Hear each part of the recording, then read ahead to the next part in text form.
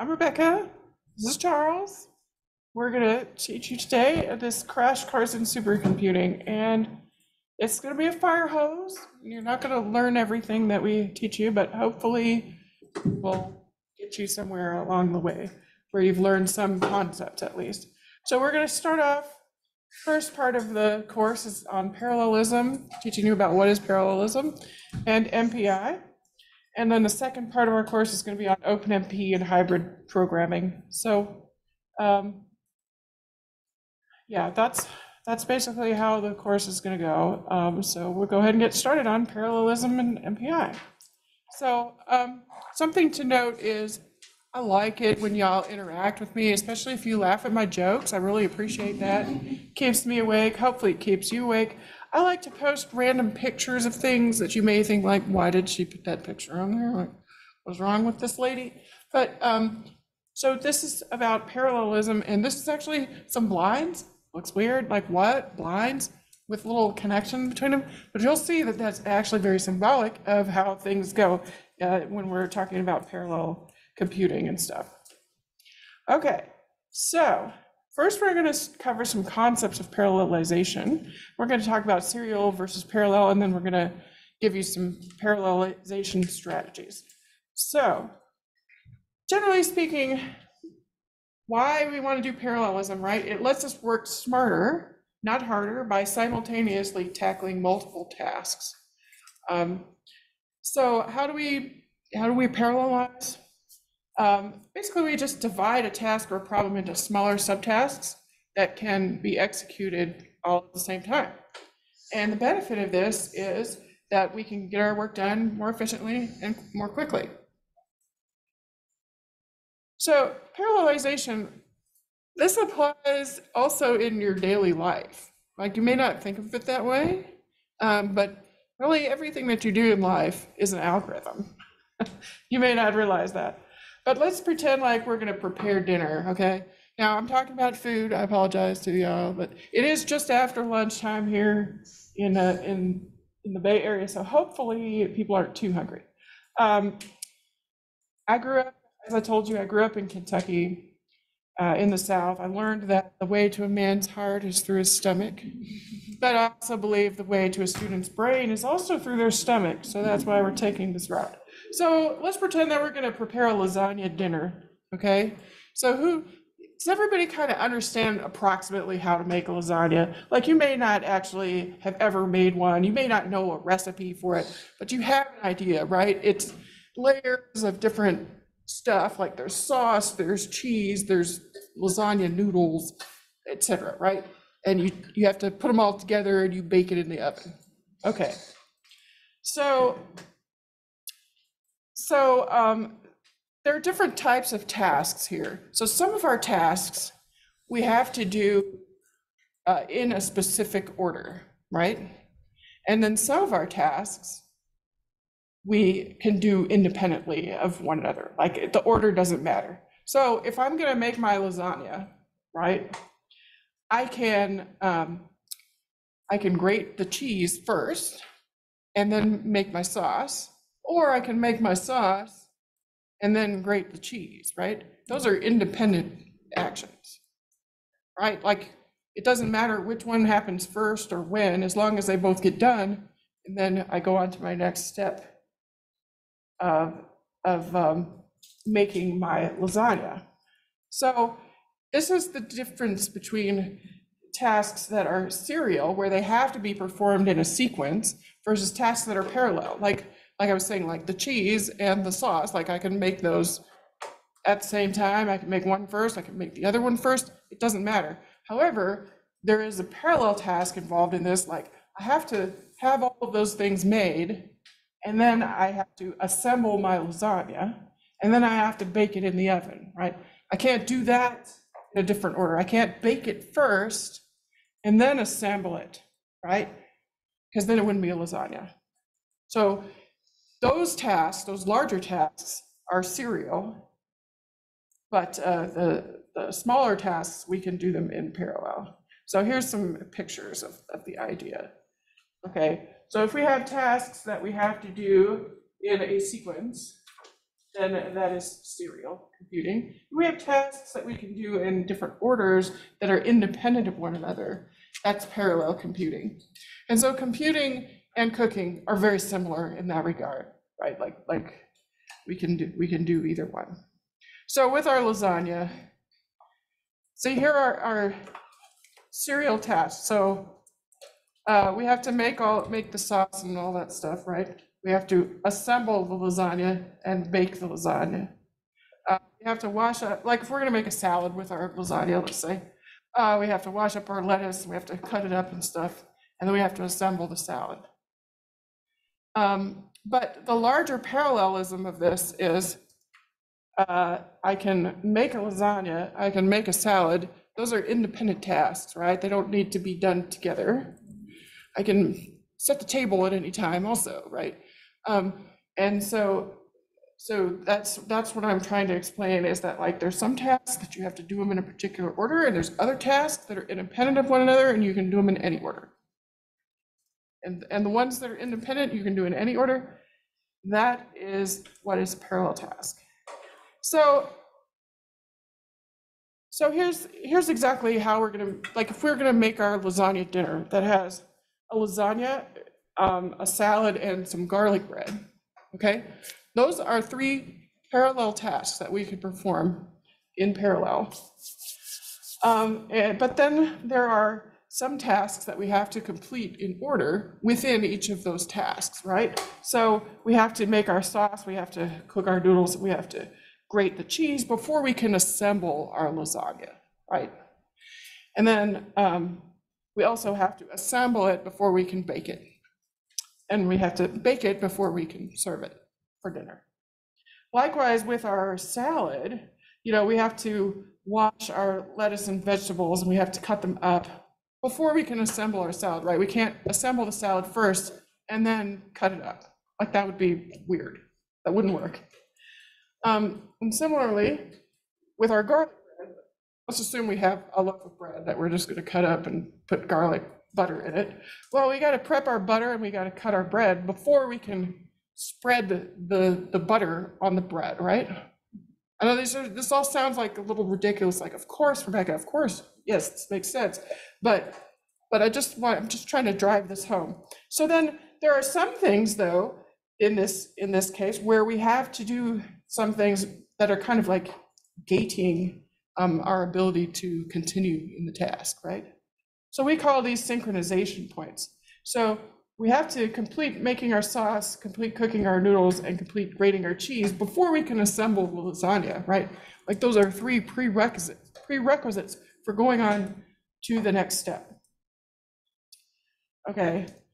Uh, so does anybody else, anybody here like to make like really big meals, like, you know, Thanksgiving dinner or, you know, Christmas dinner or something like that? Anybody besides me? I don't like to, but I get assigned with doing it. Oh, you get to. 'cause I- okay. I'm a good cook.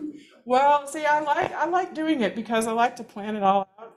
So, um, see this little graph I made here? Because like, total nerd. Do y'all do that? Like, if you're making a big meal, you're like, okay, well, we're gonna have Thanksgiving at six PM, right? So then I, you know, yes, okay. So it's gonna take so many hours for the turkey to cook. So that means that it has to be in the oven by two or something, and then, right? Do that, yeah. Yeah, so you plan it all out. I've been doing it for twelve years, so I got it kind of on autopilot each holiday. Yeah, yeah. But the first time you did it, you probably planned it all out. You probably wrote down like, okay, two o'clock, turkey in oven, three o'clock, start making the mashed potatoes or whatever, right? Yeah. Yeah. So you can see how we were able to pack all of these in to the time. Like if we had to do everything in serial, right?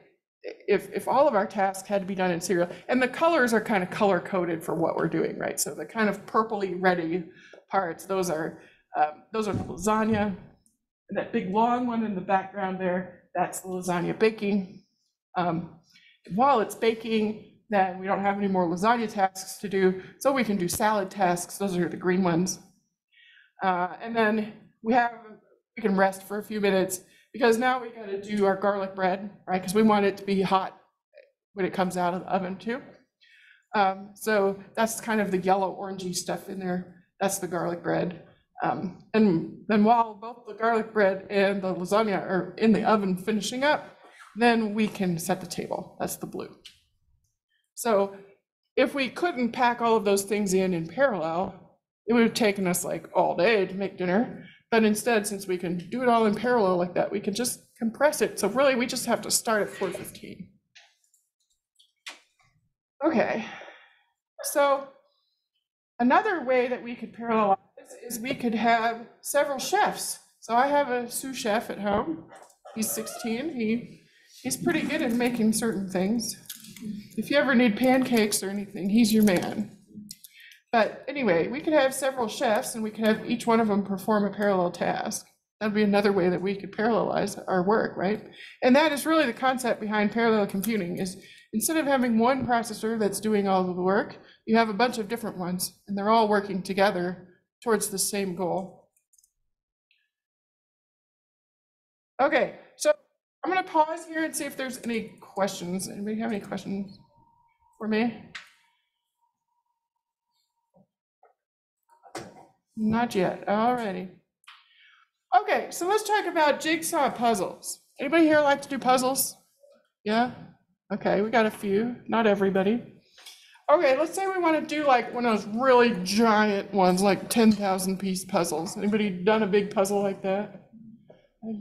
What's, yeah, I don't know if I've done one quite that big, but anyway, let's pretend for the sake of argument that everyone can complete a puzzle in T hours. Let's say that everyone does puzzles at the same rate, okay? I know this is an imperfect analogy, but we're just gonna go with it. So how can we decrease the wall time to completion of our puzzle? So what I literally mean by wall time is that clock that's on the wall there and how much time elapses on that. So if it takes T hours to complete our 10,000 piece jigsaw puzzle. So how can we reduce that from a T hours? Add people, yeah, right. So let's say that we, you know, I'm at a table and I'm like, hey, my son, come help me, right? He's, I'm, I'm victimizing him and he's not even here. Um, let's pretend that I, that I'm just like, hey, come here and help me, right? So now the two of us are sitting at the table. So how long is it gonna take us, assuming again, we both complete puzzles and it, you know, it would take, by ourselves, it would take T hours to complete the puzzle. Uh, how long would it take the two of us to complete the puzzle? Say it louder. T over two, okay, any other ideas? Yeah? You still say T, oh, that's kind of depressing. Slightly less, okay, all right, how about you? T over two plus whatever time you guys met arguing. Ah, have you met my son? No. No. Yes, that is right. So it's going to take us about T over two time, hopefully, but there's going to be some overhead involved in us working together to complete the puzzle. Have you ever worked with somebody and they're like going like this and, and like the, the one piece that you want is like right under their elbow? Yeah, I've done that. Okay. So, and then also, yes, if you're arguing about it, you know, uh, it- it's gonna take, it's gonna take a little bit. So there's gonna be some communication involved, right? Because I'm gonna have to say, move your elbow, please, so that I can get that piece. Or I might say, can you pass me that piece? So there's gonna be some latency there where he has to stop what he's doing and give me the piece, right? Uh, there's gonna be resource contention possibly, right? Because maybe I have a piece that he wants, or he has a piece that I want, or vice versa, right? So there's gonna be a little bit of overhead, but overall, it's gonna be pretty close to T over two hours for us to complete our puzzle together. Okay, now let's see. So, um, so we tried, so the, the P equals one case, we know that's T hours. The P equals two case, that's about, you know, P over, or T over two, give or take, plus a little bit more. Uh, Four people, if we had four people at the table, that'd probably work, right? But what if we, what if we have five thousand people at the table? No, no, no, you're gonna see somebody shaking their head violently, no. Okay, why not? What's wrong with five thousand people at the table? Yeah, It won't fit at the table. They won't fit at the table. That's a big problem, yes. Not enough resources, right? Yeah, right. Or if we had a table that was big enough to fit them, then how would you reach the puzzle? The puzzle would be like, you know, tiny compared to this five thousand person uh, table, which I don't think I've ever seen one. But yes, okay, so five thousand people, that wouldn't work. Right, so there may be kind of an upper limit on the number of people that you can use that would actually be useful.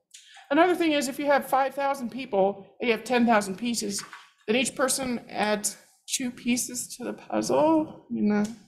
It seems like an awful lot, I mean, like, can you imagine assembling five thousand people and you're like, okay, we're gonna do this puzzle? And, I mean, it would take longer to assemble all those people probably than it would to just do the puzzle yourself, probably.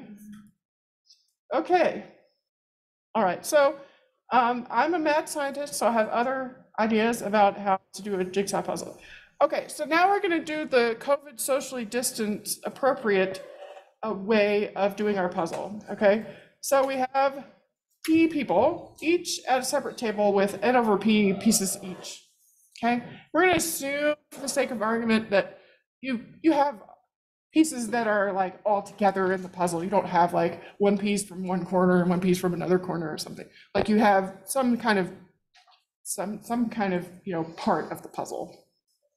Okay, so in this COVID socially distanced um, proposed uh, method of, of doing puzzles, um, let's say, let's, let's set P equals two again, right? So one person's over here at their table, another person's over there at their table, and they're doing their own parts of the puzzle. Okay, so what's gonna be sort of the wall time to completion of that puzzle? Anybody have any feeling about that?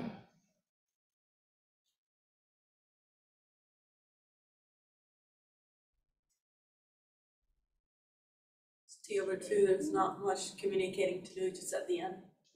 Okay, that's true. So there's, there's T over two in some sense because there's not much communication except for at the very end. Yeah, This question, is it assumed that each separate table has the exact pieces they need to solve their puzzle? yeah, let's say that's true, pretty oh. much. That's pretty much true. However, there are some pieces, you know, that are gonna be on the border, right? Like, that are gonna be part of, maybe I have those pieces, but they're the next pieces in your part of the puzzle, right? You know what I mean? So, so there's gonna need to be some communication at the end, right? And what is the cost of that communication? 'Cause we're socially distanced, we're all the way across the room from each other. Really constant time. Yeah, it's gonna be a lot more expensive, right, than if we were at the same table. Because you're gonna have to like shout across and then I'm gonna say, what? What did you say? Right? And then if you actually did have a piece that I wanted, or if we're, you know, or when we're assembling the final puzzle together, you know, you have to get up out of your chair, you have to walk all the way over to where I am and bring your pieces with you, right? So that's gonna be a very expensive communication versus when we were all at the same table, it's fairly cheap, right? Like I can just, if I have something under my elbow, I can just pass it straight to you. Okay, so at the end, you're just gonna have to have like some kind of a giant spatula, right? And just like pick up all of your puzzle that you've completed and bring it over to the other table and put them together, join them up. Okay. All right, I've got another setup because like I said, I am a mad scientist, so I have other plans. So you didn't like that plan. What if instead we just divide it up based on the, the features of the puzzle? We just divide it up, to give, each person gets part of the puzzle uh, based on the features of it. So, you know, we've got this beautiful landscape puzzle. It's got a mountain, sky, streams, tree, a meadow, you know, all these things, right? So I just, I'll take the mountain, you take the sky, you take the stream, you take the tree, you take the meadow. How does that sound? Does that sound like a good way to divide up the work? Can helpers go and help people with their other parts after they finish their part? Ooh, ooh, good question. Can helpers go help someone after they've finished their part? Well, why would you need to do something like that? Not all parts are. Oh, not all parts are created equal. True, good point. That's part of uh, the beauty of, of, of art, right? Is that, you know, there's different proportions of these different things. If you had, yes, if you had equal parts mountain, sky, stream, it would be kind of a boring puzzle. It wouldn't be very pretty. So you're right. So there could be a load imbalance in this division of labor, right?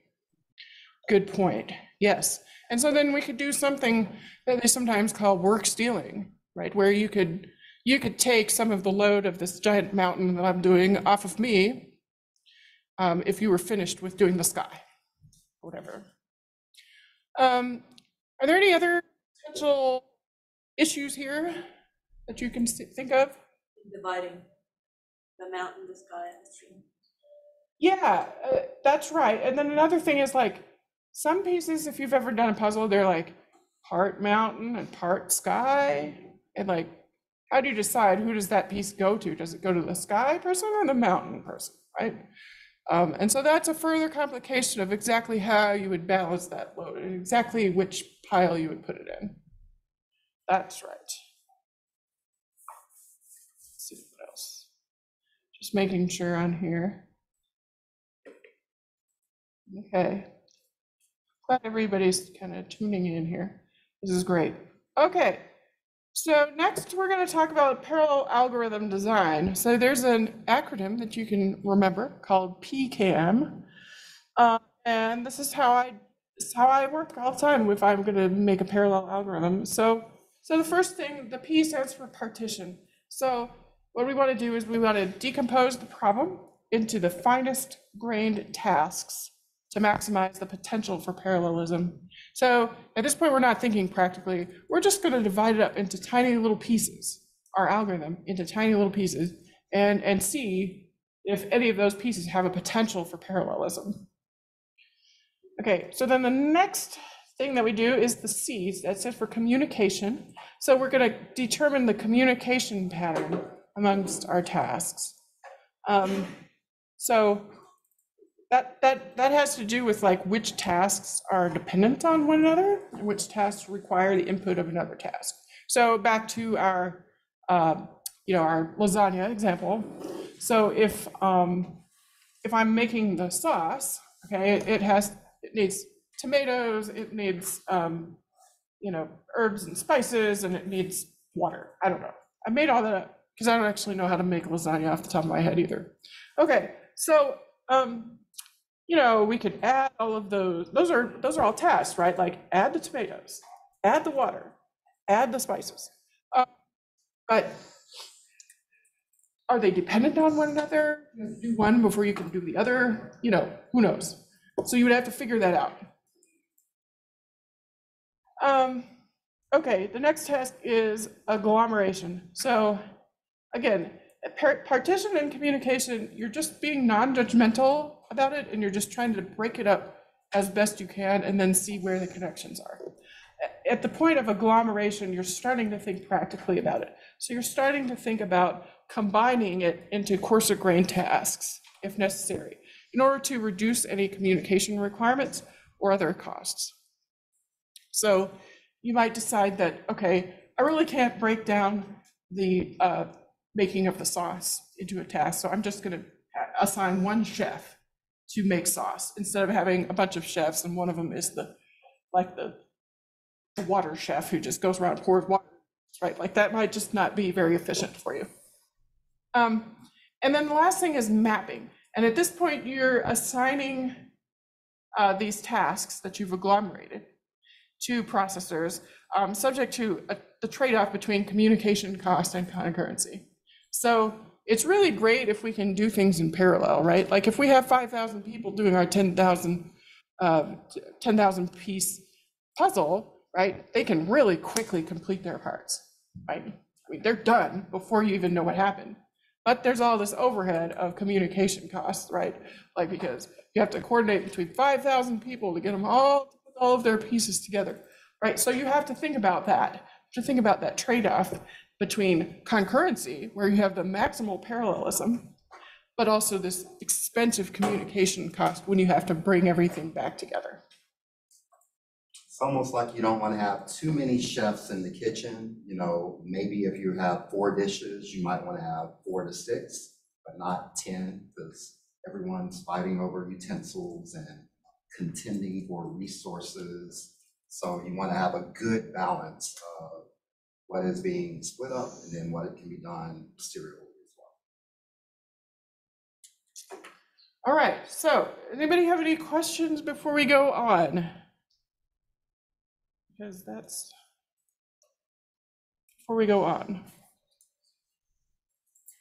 Yeah, What are some factors that we should consider when we're trying to determine the type of communication patterns? and The resources that we need to? How would, at a high level, how would we try to identify those components? it's a good question. Are you, a- you're actually asking me or are you asking? I'm asking everyone. Everyone, okay. So what kind of factors do we need to consider when we're thinking about parallelism and we're thinking about the communication costs and how to parallelize things? Any ideas? Categorization, What was that? um, categorization.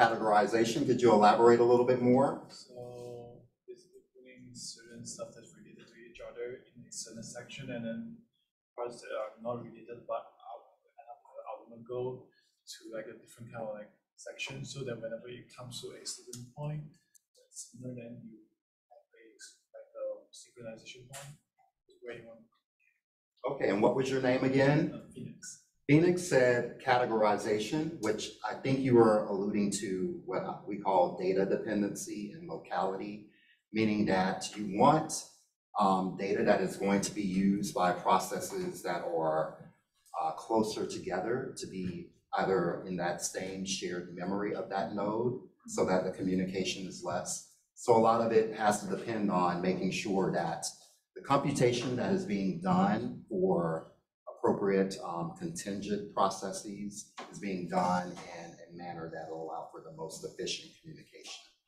So if you have, you know, ten thousand processors on hundred nodes, and um, you have one communi, you have four communications, and three other communications are on node fifty, and the other communication is on node one hundred, you want to try to move it to a closer proximity.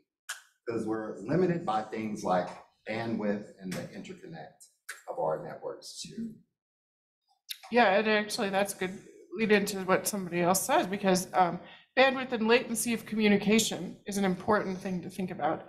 And so how much you can say, how fast with how much delay, that's a really good way of putting it. Thank you, James.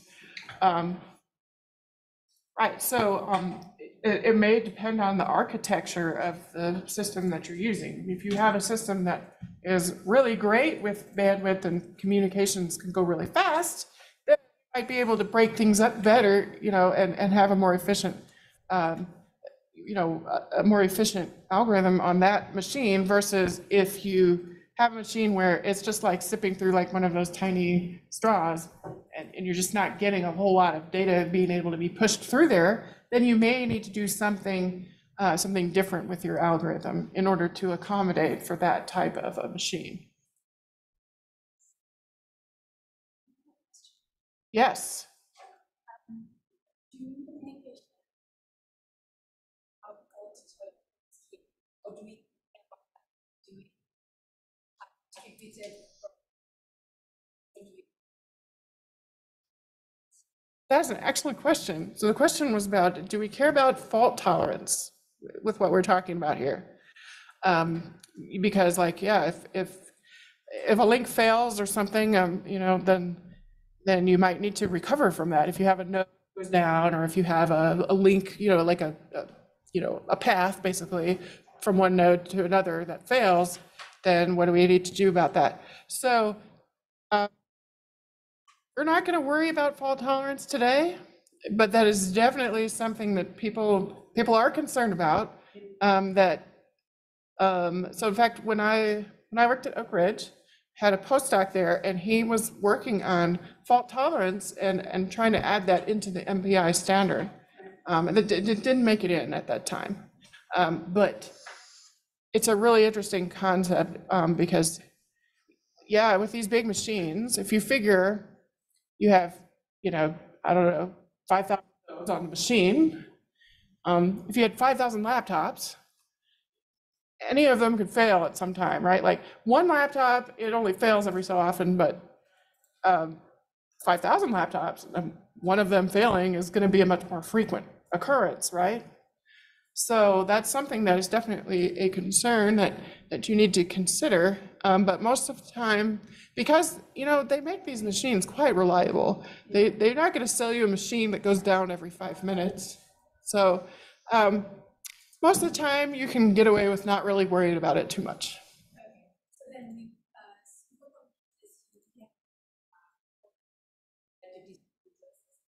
Yes. Load balancing. Yes, we definitely care about load balancing because, um, you know, basically when you, when you get a, when you run your code on a supercomputer, you get a job and you have like a certain amount of time, up to that amount of time for your job to run. And so if it's really imbalanced, then it's gonna, it's gonna skew it. You're gonna have one node that's really, really busy you're gonna have all the rest of them that are just, you know, idle and sitting around and wasting time, but you're still paying effectively for all of those nodes when you're running that job. So you don't want that if you can avoid it. Project ever, It's like what? every group project ever. Every group project ever, yes, yes. Right. Okay, let's see if we've got any more questions. Yeah, okay, can we repeat the, yes, sorry, Sonia, I was definitely trying to do that. Thank you. Okay. All right, well, let's move on to the next topic. So we're going to talk about supercomputer architecture. We're going to talk about what is a supercomputer, and we're just going to have kind of a conceptual overview of architecture. We're not going to get deep down into it. Um, so here's like some pictures of some of my favorite supercomputers. So the Cray one is still my favorite. It's from 1976. Um, but it, you see, it kind of has this round shape to it. And um, the part that's in the, that's, that goes up high in the middle, that's the computer. The part that goes around it, uh, that's, that has leather on it, I think, or maybe it's fake leather. It was the 70s, who knows? Uh, in any case, that part is the cooling system. Um, and so the, they advertised this thing as something that you could buy this for your company, right? And you could set it out like in the lobby because it's pretty classy looking, really. And you could have people sit there while they wait for an appointment with your CEO. So that's pretty cool. If anybody ever sees one for sale on eBay or something, let me know because I'm going to put it in my living room.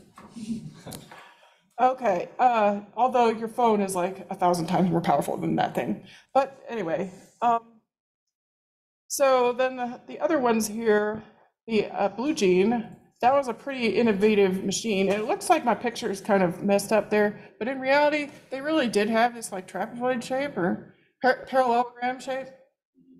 Uh, and that had to do with the cooling system. Like that's how the, they made the air go through it.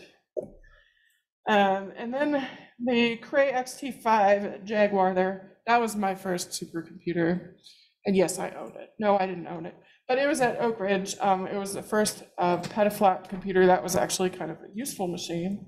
Um, and it was a great machine, and I missed it.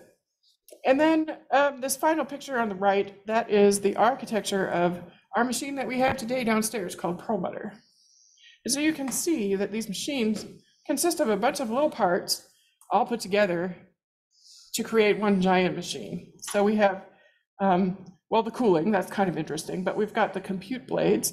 We've got multiple compute blades and they, each chassis has multiple compute blades in it, and then multiple chassis in each, uh, each of the cabinets, and then we have many cabinets down there of the machine. So that's kind of how it works. Okay, so what is a supercomputer? Well, according to Henry Neeman, he's my academic brother, we have the same advisor, so he must know what he's talking about. Um, a supercomputer is the biggest, fastest computer right this minute. And that's basically the concept behind it. Generally, it's a machine that's going to be at least 100 times more powerful than your PC of the era. Um, so you might also hear people talk about supercomputing, high performance computing, scientific computing. Those are all different sides of the same coin, although that's more than two sides, so maybe it's not a coin at that point. But you get my point. And the idea here that we do here at NERSC and uh, at a lot of academic institutions is that scientists are using our supercomputers to solve really complex problems. These are really hard problems. They need large supercomputers and they can't be solved in any other way.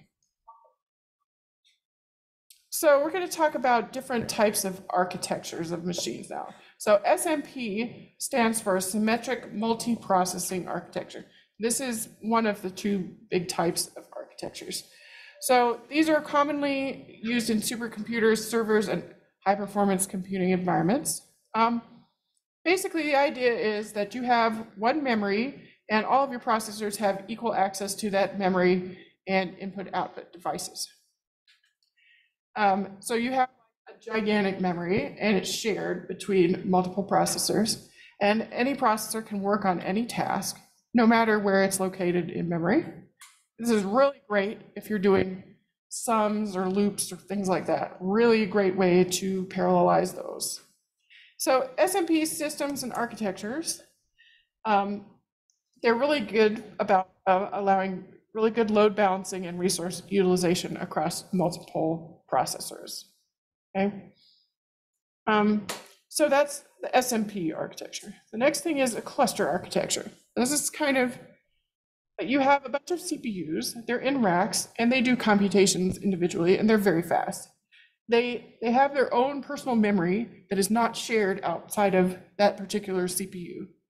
Um, and they communicate through network connections, and the communication through the network is very slow compared to how fast you can do a computation. So if you're on a cluster architecture machine, you want to write programs that are going to divide your computations evenly, but that minimize the amount of communication that you do. Okay, so you all remember when we were talking about the puzzle? And you all were like, this lady's insane. Why are we talking about this?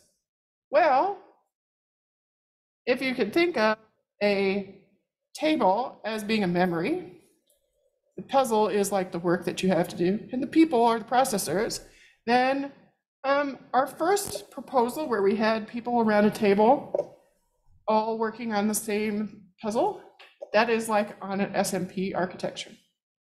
Yeah, you see how that worked? Yeah, Hmm? not quite, but pretty close. Yeah, okay.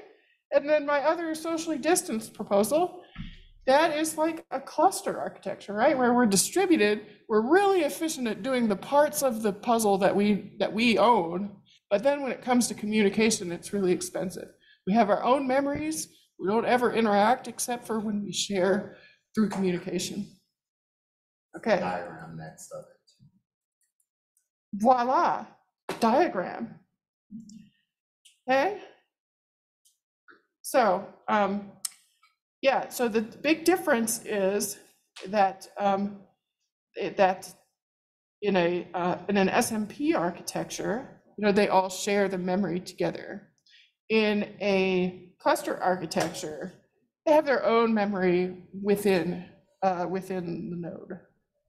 Now, today we have machines that basically combine most of these things through having a hybrid architecture. So you might have nodes that have 16, that would be small nowadays, um, up to 128 core nodes, and they're connected to other nodes with a slow interconnect.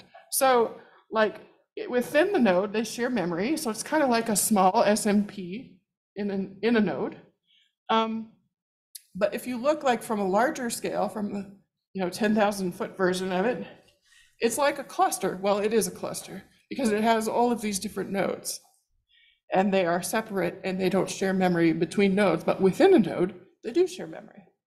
So um, in order to take advantage of all of the parallelism possible, we would want to use MPI. I'm going to tell you about what that is in a minute. Uh, in order to, to do this distributed memory parallelism, and OpenMP in order to do this shared memory parallelism in our program. Okay, now also there are machines that have a, a CPU and a GPU or some kind of an accelerator on them. This has become very common. Um, essentially what you do with those types of machines is the GPU is like really good at doing math and that's it, like doing floating point operations, it's, it's really good at that and it can't really do much else. but it's very fast at that. So you would offload any computationally intensive stuff to the GPU, and you would keep the CPU for doing more of the other stuff like, um, you know, conditional statements, logic, and communicating with other nodes and stuff. Uh, It's pretty complicated uh, to program for these, and we're not going to talk about it today. It's outside of the scope of what we're learning today. But um, just know that that exists and that, you know, that would be the next step. Once you understand how it works on a regular CPU-only machine, uh, then you could move on to this type of machine. Okay, so before we get started with this, I'm gonna see what questions we might have in the chat. Yep, the seats were cooling. Yep, that's right, Alfred. Okay, um, Perlmutter has both CPU and GPU, right? Perlmutter does have both CPU nodes and CPU GPU nodes. Mhm. Yep, yeah, So I know, with the networking, like the slingshot interconnects were considered a big deal. Are they still drastically slower than in-memory access times? Communication times? uh, yeah, okay, so the question is, is the, is the, um, so we have the slingshot network, and is it still drastically slower than in-memory accessing? And yes, yes, it is. I mean, because first of all, you have to send a message that says, I want this thing, right? Or you have to receive a message from somewhere else that, you know, knew it was coming. But still, you're retrieving from one memory, sending it to another, and then retrieving it there. So it's just necessary, by necessity, it's just gonna be slower. By a lot, yeah. Do supercomputers have like a faster clock speed or is it just that they're more processors? Do supercomputers have a faster clock speed, or is it just that there are more processors? It's really just that there are more processors, yeah. Um, so, They consist on the say, of the same chips that are out now. It's just a way that we configure things together to do, to get more computational power. But we don't have a magic quantum processor yet that we can use fully. We're getting there, but right, so, that's right. So it just, it really just mainly uses commodity parts. Um, the thing that also, I would say differentiates a supercomputer like we have from a cluster that anyone can build is really the interconnect. So we have an extremely fast interconnect. I mean, it's still slow compared to uh, memory retrievals, but um, it's, it's much faster than, and than you could just buy off the shelf from, I don't know, not Best Buy, but like Newegg we or whatever. It, That's fine. I don't know, yeah, I don't know. Ethernet, I guess, maybe. So what, um, so it's a lot of contention for memory and applications. What, um, who could kind of enlighten us on what would be the most efficient form of memory that we would want to use to minimize, uh, communication off chip to, uh, off chip memory? What are some of the, how, what do you think would be the best type of memory to use that's available on the entire system? Are, are you alluding to like near memory computation or something else? Exactly. Okay, like, like on chip memory, like on Mhm. SoC? Yep, so you want to keep in mind that you on chip, should we do a diagram? Is this Uh, yeah. erasable? Uh, Yeah, I used that one, yeah. You use it. And so, are you sure? Yeah, So I mean, if you want to consider, let's say we have a, let's say this is a node. And on this node, we have different processors. And each processor has multiple cores. Um, The easiest way to minimize any data communication would be to use memory that is in the registers of our chips. So, you know, registers are just basically right there. They're a little bit smaller than cache, um, but they can do for quick um, computations that you need to use and for, you know, repeated calculations. You want to have those in the register. And how do you control what goes into the register?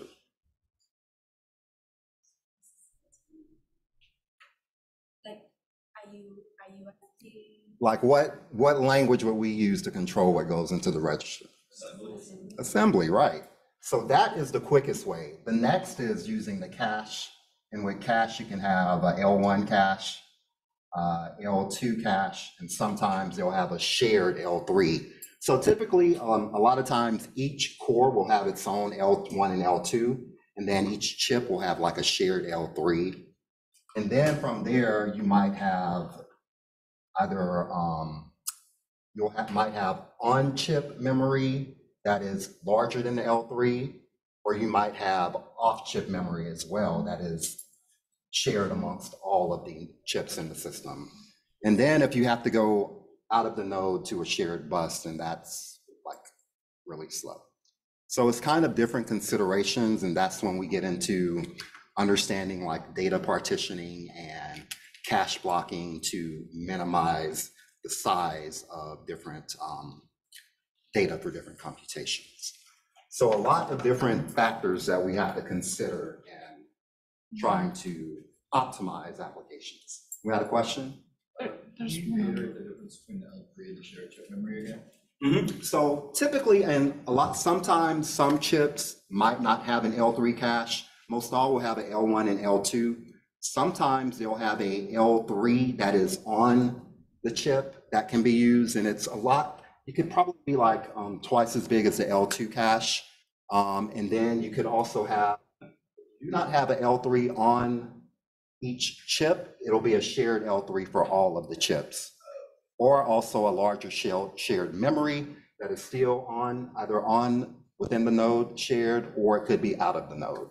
So, If there's a shared L three between all the chips, like what type of, would that be something on the motherboard? Would you install an L three cache module? How does that work? yeah, it would be like, mm, we can get into the weeds about, because there are different ways in which you could configure it.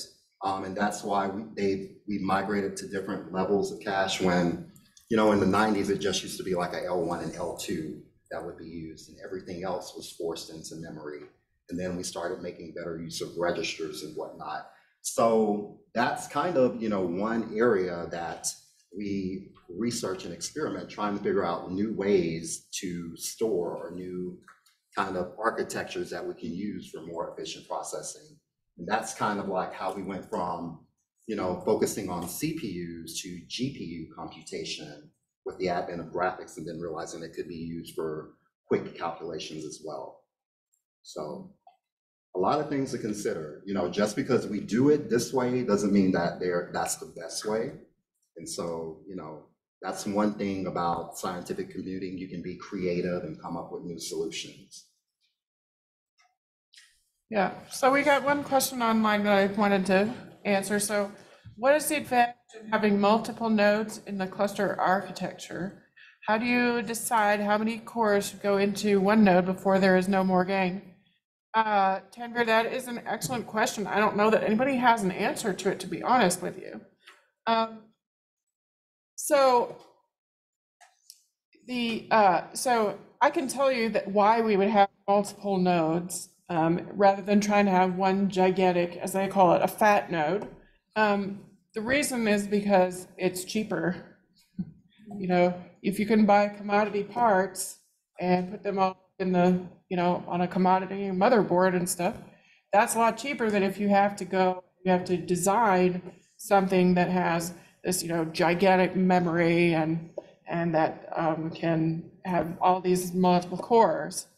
Um, now, how do you decide how many cores should go into one node before there's no more gain? I, I don't think that we really think of it that way. I think just what we think of is like, what is available? Um, and so, eh, um, in order to increase the performance of a node, uh, it used to be pretty easy. You could just kind of move things a lot closer to each other. Okay, um, back in back when I was your age, um, we just really had nodes that had a single core. You know, and what they would do is they would increasingly miniaturize that core. And, and then and then there would just be better performance just because you know the speed of light is finite, right? So then uh, you know if you get twice as close, then then you can go at twice the speed. Um, but then uh, eventually we get to the point where that that doesn't work anymore. Um, you know, we're down to where it's like I don't know, what is it, like six nanometers or something? I Mhm. mean, really small distances in a, in a single core. And, you know, now there's just a couple of atoms right there, you know, you can't get any smaller, really. Um, and so what they, what they did instead with that was they started putting multiple cores on a node, or on a chip, I should say. Multiple cores in the same CPU.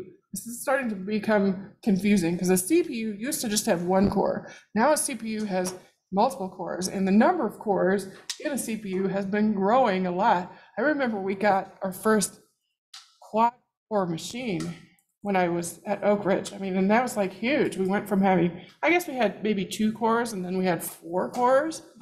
And I mean, that wasn't, yes, it was long ago to some of you, but it really wasn't that long ago. I mean, it was like 2008. Okay, so that's really not that long ago. I think everyone in this room was alive in 2008, right? So it's within your lifetimes at least. And relatively short within your lifetimes. Like, I don't think any of you were babies in 2008, at least I hope not. Uh, But anyway, so they've just, that's the way that they've been able to get more performance out of a CPU is just by adding more and more and more um, cores into the CPU. So I hope that sort of helps answer your question. Oh, okay, you were legally dead for tax purposes. That's reasonable. Okay, is there some performance bottleneck when multiple nodes are working together, when some nodes have very high performance devices, but others have very low performance devices? That is a great question, and in fact, there definitely is. And in fact, you can think of this in some sense when we're, when we're talking about this um, CPU plus GPU model. Um, so CPUs, you know, I mean, they're pretty fast, but they don't compare to a GPU. So you could think of that, a CPU as having very low performance in terms of being able to do flops. And then a GPU has having very high performance. And so there is some kind of trade-off, like what part of the work are you going to send to the CPU or to the GPU versus what are you going to keep for the CPU in that? Um, and yes, you could also have a heterogeneous cluster. Uh, I know some universities, for example, take everybody's old desktop machines and they make them into a cluster and then they periodically get rid of the oldest ones and then put in a refresh of machines that are only five years old instead of 10 years old or whatever. Um, but, um, and so that can be quite challenging.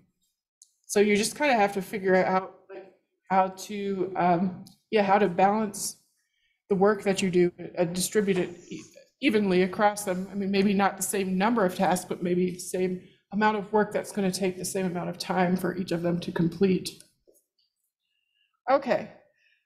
Alrighty, well, let's talk about MPI. So it turns out, oops, turns out, y'all, there is a ship called the MPI Venture, and it makes windmills, offshore windmills. Who knew? So we're going to talk about MPI and what it is. We're going to talk about, you know, remind you of some of our parallel programming concepts. We're going to talk about the six necessary MPI commands, that if you know those commands, you can write an MPI program that does anything, maybe not the most efficiently, but they're really the only six commands that you need in order to write a basic MPI program. And we're going to see some examples. Okay, so MPI stands for Message Passing Interface. And what it is, is it's the industry standard for parallel programming, and it's a 200-page document. So if you need a little light reading, if you're an insomniac, you know, just download that bad boy off of the internet and you will fall right to sleep. I'm just kidding. It's very fascinating, I'm sure. Um, anyway, so if somebody asks you, what is MPI? You say, it's an industry standard. Yes, it is. It's an industry standard for parallel programming. Now, there are MPI implementations. and That's, that's what I mean to talk about right now. And it is time for my allergy medicine. Um, anyway, it is implemented by many vendors. There's also open source implementations. So Cray, well, Cray is now HPE, but Cray has an implementation and it, so that's what's on our machine Perlmutter downstairs. Um, and it is optimized for that particular platform. At IBM, I worked on uh, their version for their chips as when they were bigger in supercomputing and it was very specialized as well. But still the same framework, but a lot of times it's optimized for the configuration for IBM um, systems. Questions? So your MPI, implementation mainly deal with PowerPC, or do you also write implementations? for- It was with PowerPC, at- you're trying to date me, yeah. With the power chips, um, seven, six and seven, and a little bit of eight. So is that the implementation that runs at ORNL, uh, for Summit? I don't know what they're using now. Summit uses PowerPC, that's what I was. Okay, yeah. So maybe, maybe a descendant of it or something. Yeah, or it might, you know, it depends. Sometimes the vendors decide to scratch their implementations if something else is more efficient. Yeah, so they often actually build their implementations on an open source implementation. Um, and so MPICH, that stands for MPI Chameleon or something like that, very strange, I don't know why. Uh, anyway, MPICH is a big one, and that comes out of Argonne, Argonne uh, National Lab and Mississippi State University. They worked on that together. Uh, it's still very active, and that is what the Cray MPI implementation is based on. It's based on MPICH. LAM MPI, eh, I think they're kind of dying or maybe already dead, I don't know. But OpenMPI, that's really another big one. Um, and that is actively being developed today. And I know a few OpenMPI developers. Um, anyway, so the MPI function library, which is derived from this standard, is what we use when we write C, C++, or Fortran programs in high-performance computing. So there are different MPI standards. So there was MPI 1 and MPI 2. Uh, difference between them was that MPI 2 had uh, additional advanced functionality and had C++ bindings. But everything we're going to learn applies to both of these standards. Uh, MPI 3 was major revisions. Uh, it was released in November, uh, September 2012, and it's 800 pages. Okay, so I, I lied when I said it was 200 pages before. It's more like 800. Uh, and so there are other additions from MPI 3 that we're not going to cover today. Similarly with MPI 4 that was released two years ago, we're not going to cover any of those additions, but everything that we learn is going to apply to all of these. It's just, we're not going to really talk about it. Yeah.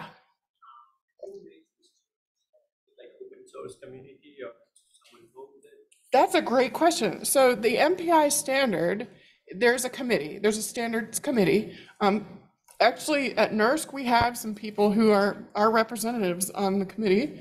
And then, yeah, and then people get together and they meet, I don't know, once a month at least. Um, and then they have periodic in-person or large meetings. Um, and and they they vote on the standard and, and what they're going to add to it and stuff like that. So if you go to the MP, you can just look up MPI forum. I think it's mpiforum.org or something like that. But anyway, if you go to that, you can learn a lot about what they're doing and how they do it. And maybe someday you can join too.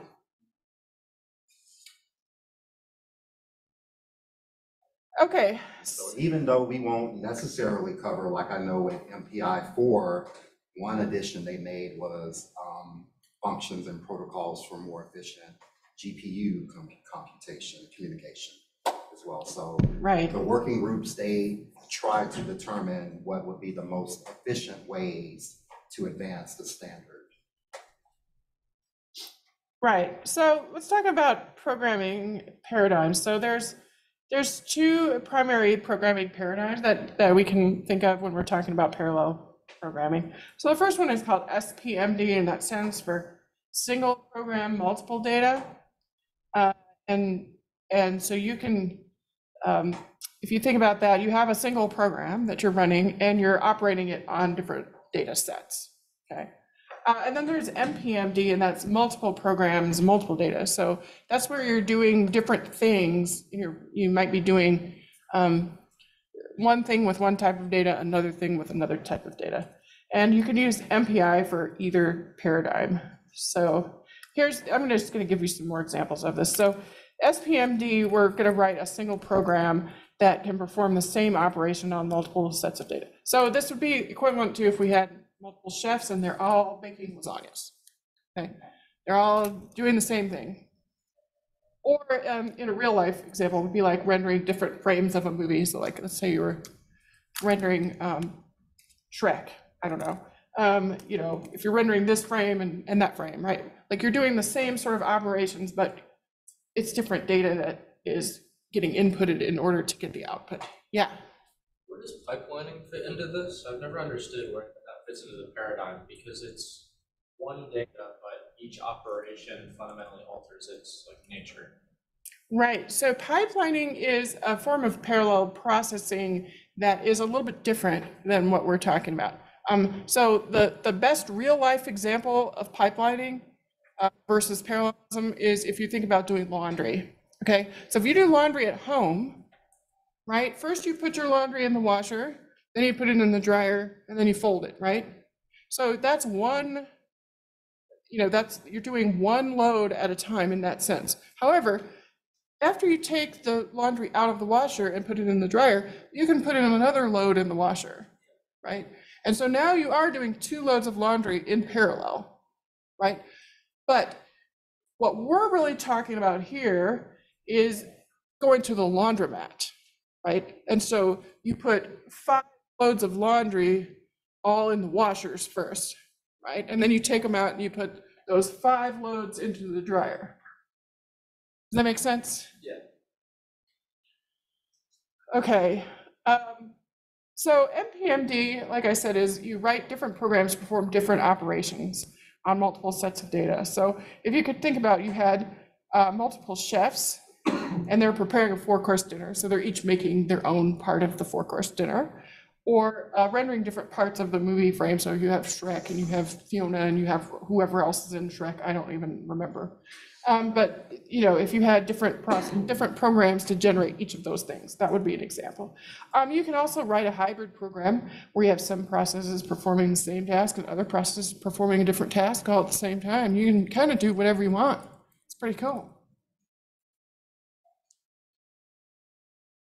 Okay, so here are the six necessary MPI commands. So if you know these commands, oh, okay, we've got some great questions here that I'll get to in just a second.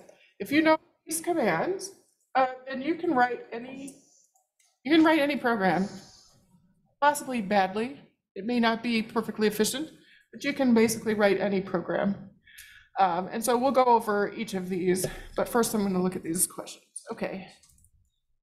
How do you typically structure MPI programs for MPMD, MD, given that collective communications imply a barrier? The MPI launch command commands also take just a single file, right? Strictly RMA and request. Oh, wow, Ray, okay. Um, so, um, before there were ever RMA, which is remote memory access, for those of you who might not know what that means. Um, you know, people have been writing MPMD for years. Um, a, a big example of this is climate codes. So a lot of times you have one person who writes the atmosphere code. You have another person, well, I shouldn't say person, you know, team that writes the, the ocean model, another one that write that does the land model. And somehow you kind of need to um, you know, put all of that together to get a holistic picture of, of the earth.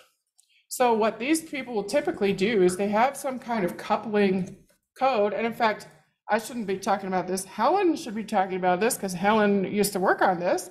Um, but, but the idea is that, you know, you might have, let's say you have 100 processes. So you, so uh, say the ocean is the most expensive part of, of the computation. So maybe you're going to put 50 of your 100 nodes onto, uh, onto the ocean and, you know, 20 onto the atmosphere and 30 onto the land or something. And so they do some computations and then that every so often they kind of need to sync up, right? Because, you know, the ocean does touch the, the atmosphere, right? You know, there's a surface layer there. The ocean also touches the land and the atmosphere, of course, also touches the land. So every so often you're going to have some kind of a sync and you're going to have some kind of a data exchange um, and so, yeah, you're gonna probably have some kind of a, like a, uh, like a communication that is gonna effectively be a barrier. So what you wanna do is, um, you know, make sure that your, your load is very well balanced um, to ensure that, that you, uh, you know, that you're not having any processes be idle. That's a great question. Okay, for SPMD, Are there multiple instances of the same program running simultaneously? Yes, Usman, effectively, that is what happens. Um, so there are multiple instances of the same program running simultaneously. Um, so effectively what MPI does, we'll talk about this with MPI init, is it, it effectively, it starts, it, it, it just like invokes the, the, the program on multiple processes. Um, and, and it, so it starts up and, and the way that they're connected is through a communicator. And so we're going to talk about that in a sec, but I'll, I'll explain more.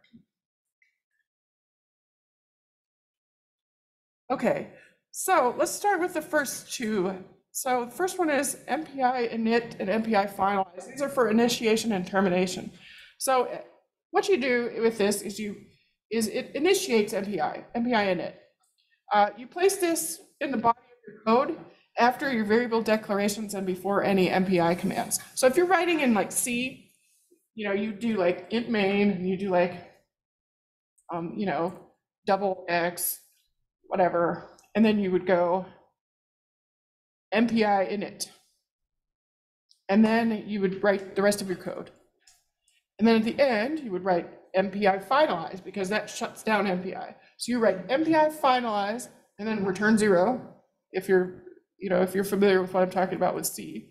And that shuts down MPI. So you want to place it right at the end of the code after your final MPI command. Okay, so now another thing you might want to know is how many processes that there are and which process rank are you? So that's where we get uh, MPI com size and MPI com rank. Um, so MPI com size is going to find out the number of processes that are all working together in this. So like I was saying before, um, when your job starts, MPI creates multiple copies of the executable running, okay? I don't literally mean it copies anything. I just mean it invokes several copies of the code that are all, they're all essentially the same, except for the rank. So each of them is assigned a rank number. And when you invoke your code to run it, so in our case, we use um, srun, but you might use something like MPI run if you've ever heard of that.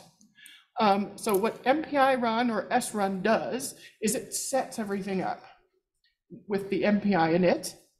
And it you have told it ahead of time how many processes that you want to run on. Okay, now you might want to know that when you're running your code so that you know what you have to work with so that you can make your code flexible and be able to accommodate for any number of different number of, of uh, processes.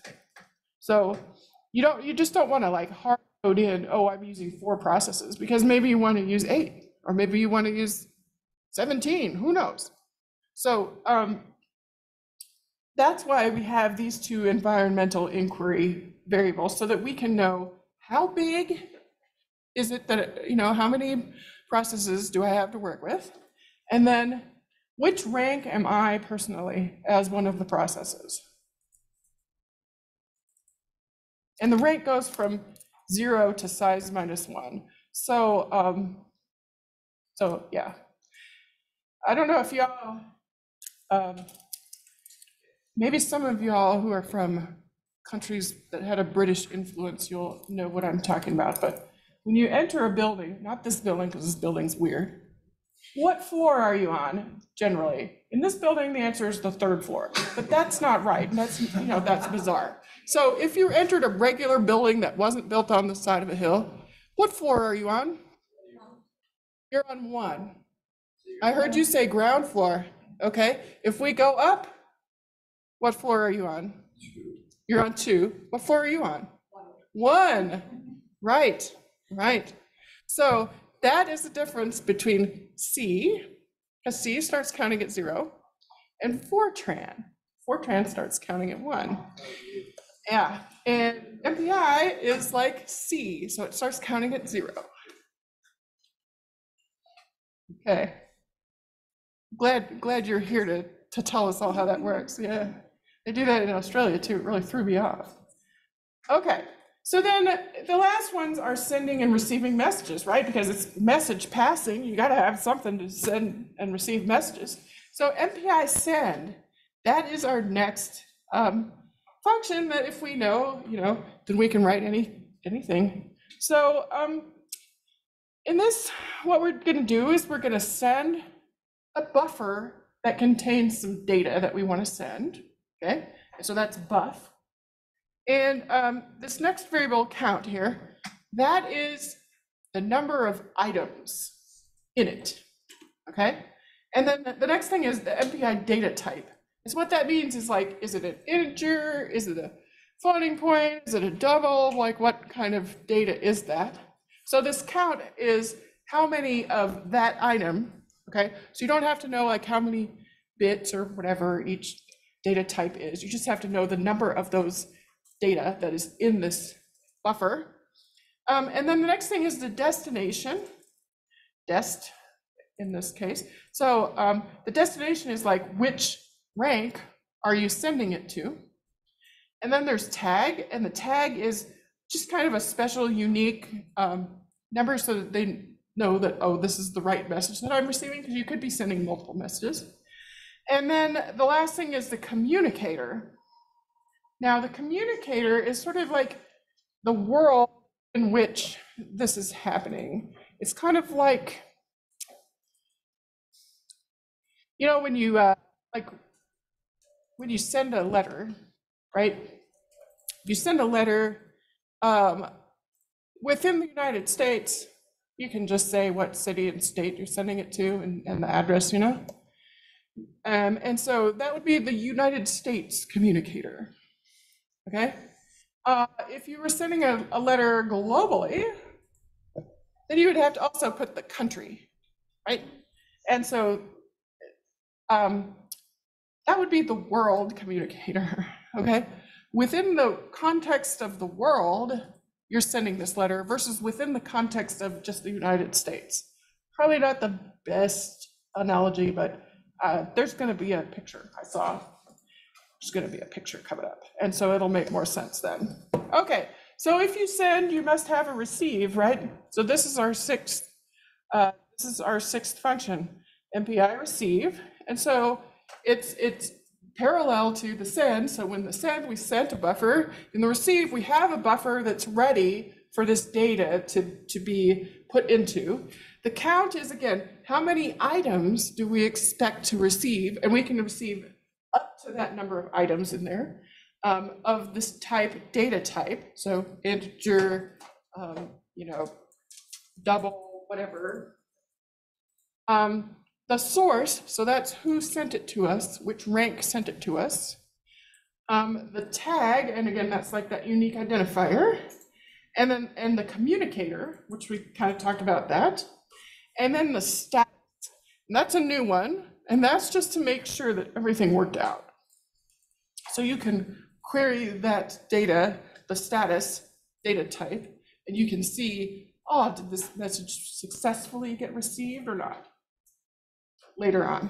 But people don't really use that, especially very much, especially when it's like just kind of these basic ones. You might use the status in more advanced um, asynchronous communications. Okay, so something to keep in mind that um, is that standard send and receive functions are blocking, okay? Um, especially receive. Receive is always blocking.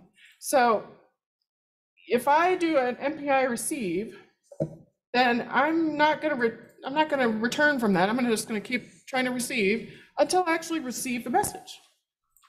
Okay, and if I do a send, usually they'll send, they'll wait until they know it got sent, but sometimes they don't. It just kind of depends.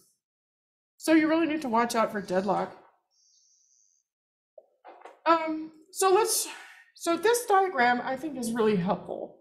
Okay, so this is about the message passing interface and kind of how it works is, so we have MPI com world, and so that's kind of like our universe, effectively. And so we have, we have our process ID or rank, within that world. Within that world. So we might be zero, one, two, three, four, whatever. Okay, and then on the actual cluster, where it gets assigned, um, it could be on any of the nodes of the cluster, but it's kind of like mapped from our world to the nodes, to the CPUs of those nodes. Okay?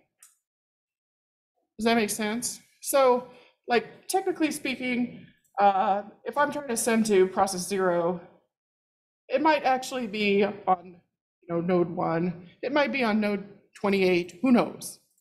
But I don't need to know that. I just need to know its identity as node zero. That makes sense? Okay. Good. All right, so here's like a real example. Um, I wrote this example just to deadlock, like that's the entire purpose of this example. Um, so let's look at it together. So um, first of all, to do this pound include MPI.h. That gives us the headers for the MPI library. Okay, and in C, C++, those types of languages, um, you just that's just one of those standard things. Um, and because we've got this include stdio, that's just our standard IO library. Well, headers for that library, I should say. Um, and so then we've got our main. So int main. Again, this is just a pretty standard C code. For those of you who are not familiar with C, I'm just letting you know. There's nothing really weird about it yet. Um, so here I'm defining all of my uh, variables. You can see I've got uh, I've got a couple of integers. I've got this status. Okay, um, and then I'm going to initiate initiate initialize. Sorry, MPI, and this is just the standard arguments to it is ampersand argc ampersand argv. Who knows exactly why? Well, I kind of know why, but I'm not going to bother you with the answers to why that is.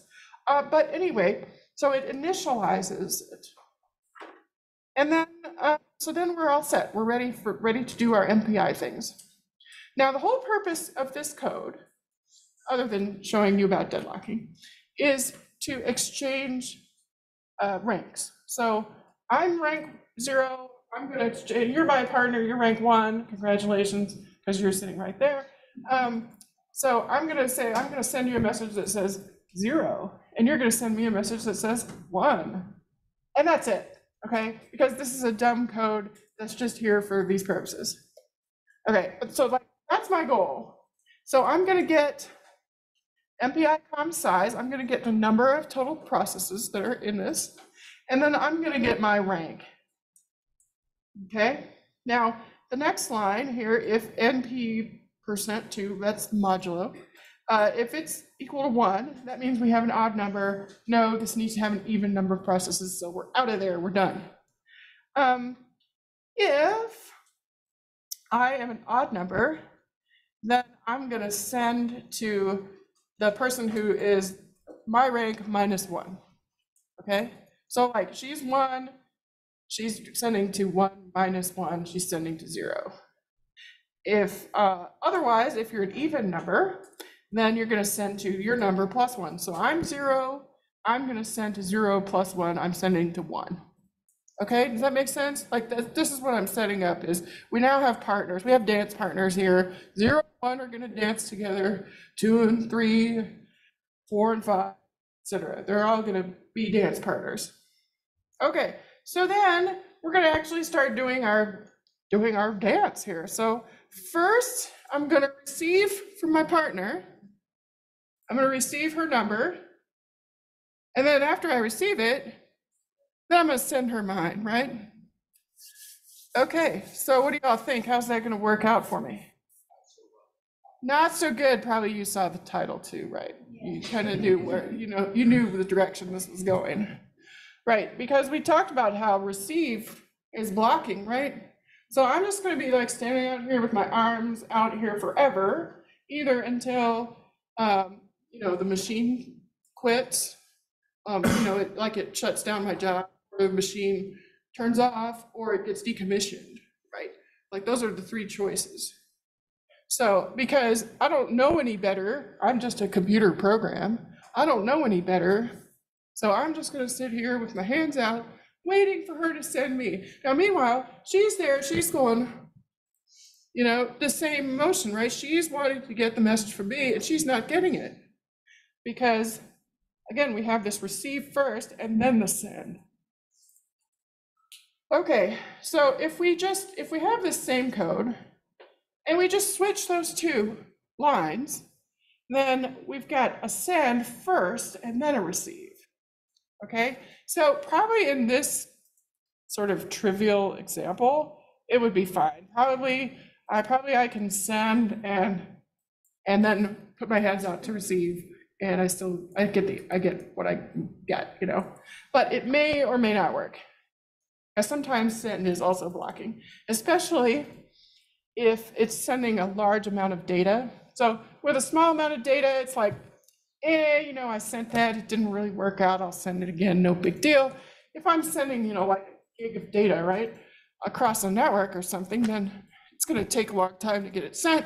I wanna make sure, so a lot of times they'll have different protocols for small amounts of data versus big amounts of data. So for big amount of data, there might be a protocol that's like, hey, are you ready? Are you ready to get the data? And then they say yes, and then I send my data.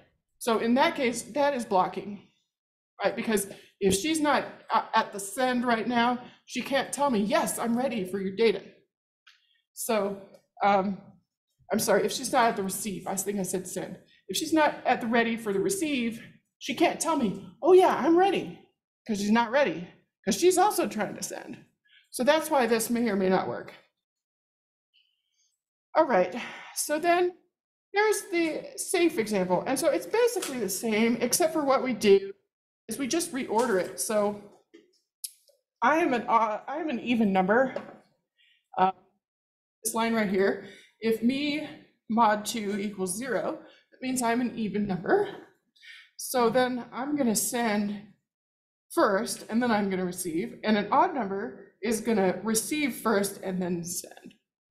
Okay, so that way, if, if it is that protocol, so if, if I'm sending her a big amount of data and I say, are you ready? Are you ready? She says, yes, I'm received. Look, my hands are up. I'm ready. Right?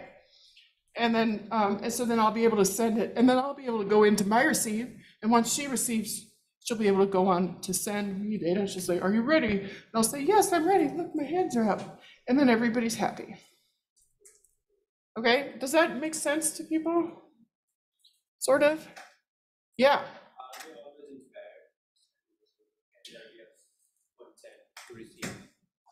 that is an excellent question. Are they always in a pair? And yes, they are always in a pair. You have to have a send and a corresponding receive. So, and like one, one, And one to one, that's right. So you have to send to a particular uh, destination and you have to receive from. Yep, that's right. Yes. is there a non-blocking send or non-blocking receive? Yes, there is. There are non-blocking sends and receives. However, those are not basic, so that's why we're not learning them. But yes, there's like, I don't know, 200 something different MPI functions. And yeah, and so there is, there is a non-blocking send and a non-blocking receive. Yeah, Mentioned that the send's not always blocked. Okay. The send is not always blocking. Yes, I did say that. So that is implementation specific. Um, and what you will often find is that if there's a low risk send, such as a sending of a very small message, um, and there may be some threshold over which they decide it's a big message versus a small message. Um, so there's different ways of sending. So there's one called rendezvous, right? And that is when you're sending a big message. And you don't want to take any chances. I mean, it's kind of like, could you send 20 bucks through the mail and if it got lost, eh, you know, you just send another 20 bucks, right? But if you send 20 million bucks, you're not sending it through the mail, right? You're going to meet up with the other person and make sure that they get their 20 million bucks instead of the 20 bucks.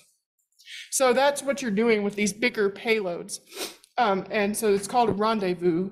And so typically the way it works is you send first first you send a message, and this is in within the MPI implementation, right? So you don't ever see this happening, but the MPI implementation sends, them- so I send a message to you that says, hey, I've got 20 million bucks, are you ready? And you say, you send a message back that says, yes, I have the memory ready for your 20 million bucks. And so then I say, okay, here it comes, and I send you the 20 million bucks, and then you receive it. Okay? Versus if you weren't ready, you know, it just would all disappear in the network or something. It'd be a disaster.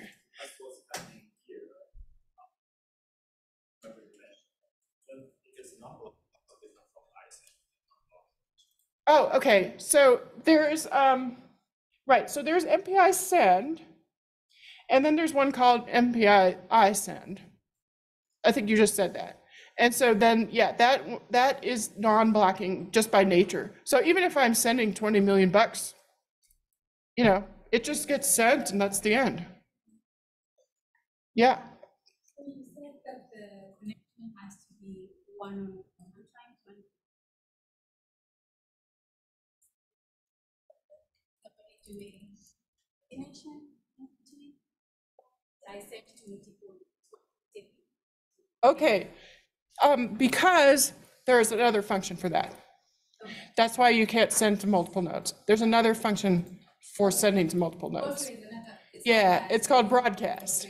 Yeah. How do you mark the end of a message? How do you mark the end of a How does message? the receiver know what needed to be sent has been sent? This is the end of the- Um, so, um, if you're, if you're talking about like from the MPI perspective, how does MPI, um, note that the message is over? I, I don't really know. I, I'm sure that's, that's based on the implementation. Um, but, but there are, there are ways that you can implicitly tell, I guess, that it's over from the, from the non-MPI implementation perspective. So with our send, we have this size variable. This is the second one. In this case, it was just one because we're just sending a single number. Um, but, so that would be the upper bound of what you would receive from the other, um, from the other process.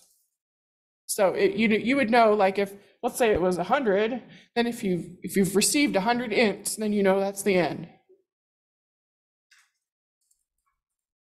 All right, these are all really good questions. Let's see if there's any here that I can answer quickly. Oh, with rendezvous. Uh, okay, so with rendezvous, how do you deal with something like the two generals problem? Oh, I don't remember that problem exactly. When A says, are you ready for the 20 million? And B says, yes. Does B wait for a message that A got its confirmation or does it only do one level of confirmation?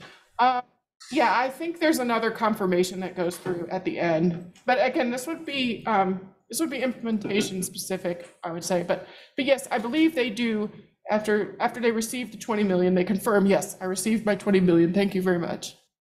So sometimes they'll include like a confirmation tag to, so like in some of the calls, you might see a tag um, attribute, and that can be used to categorize if it's been transmitted message size. Yeah, thank you.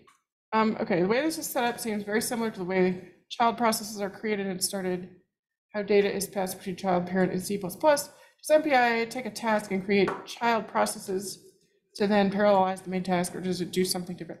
I think it's slightly different, Seth. Um, I think that, uh, you know, I'm not an expert on C++, um, but also I think that the MPI way was created longer before the C++ way was. And um, I, I- don't exactly know how it, how it, it it initializes these things, but they could be similar in a lot of ways.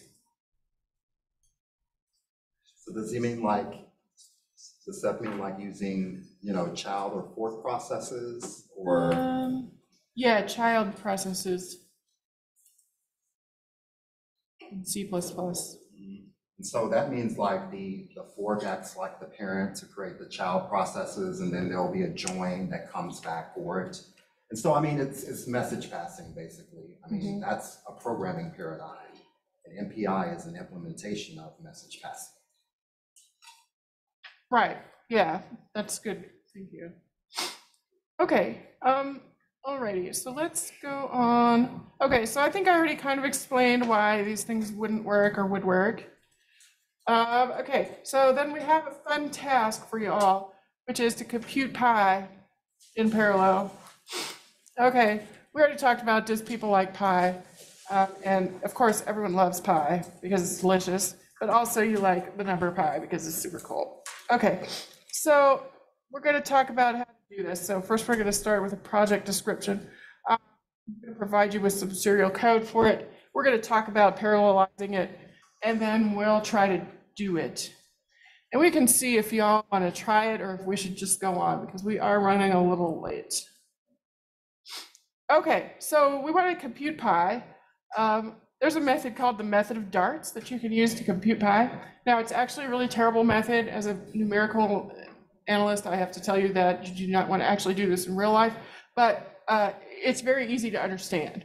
So that's why we're going to talk about it today. Uh, but basically, the idea is that uh, that pi is equal to the ratio of the area of a square uh, to the area uh, of an inscribed circle within that square. It's proportional to pi, I should say. It's not equal.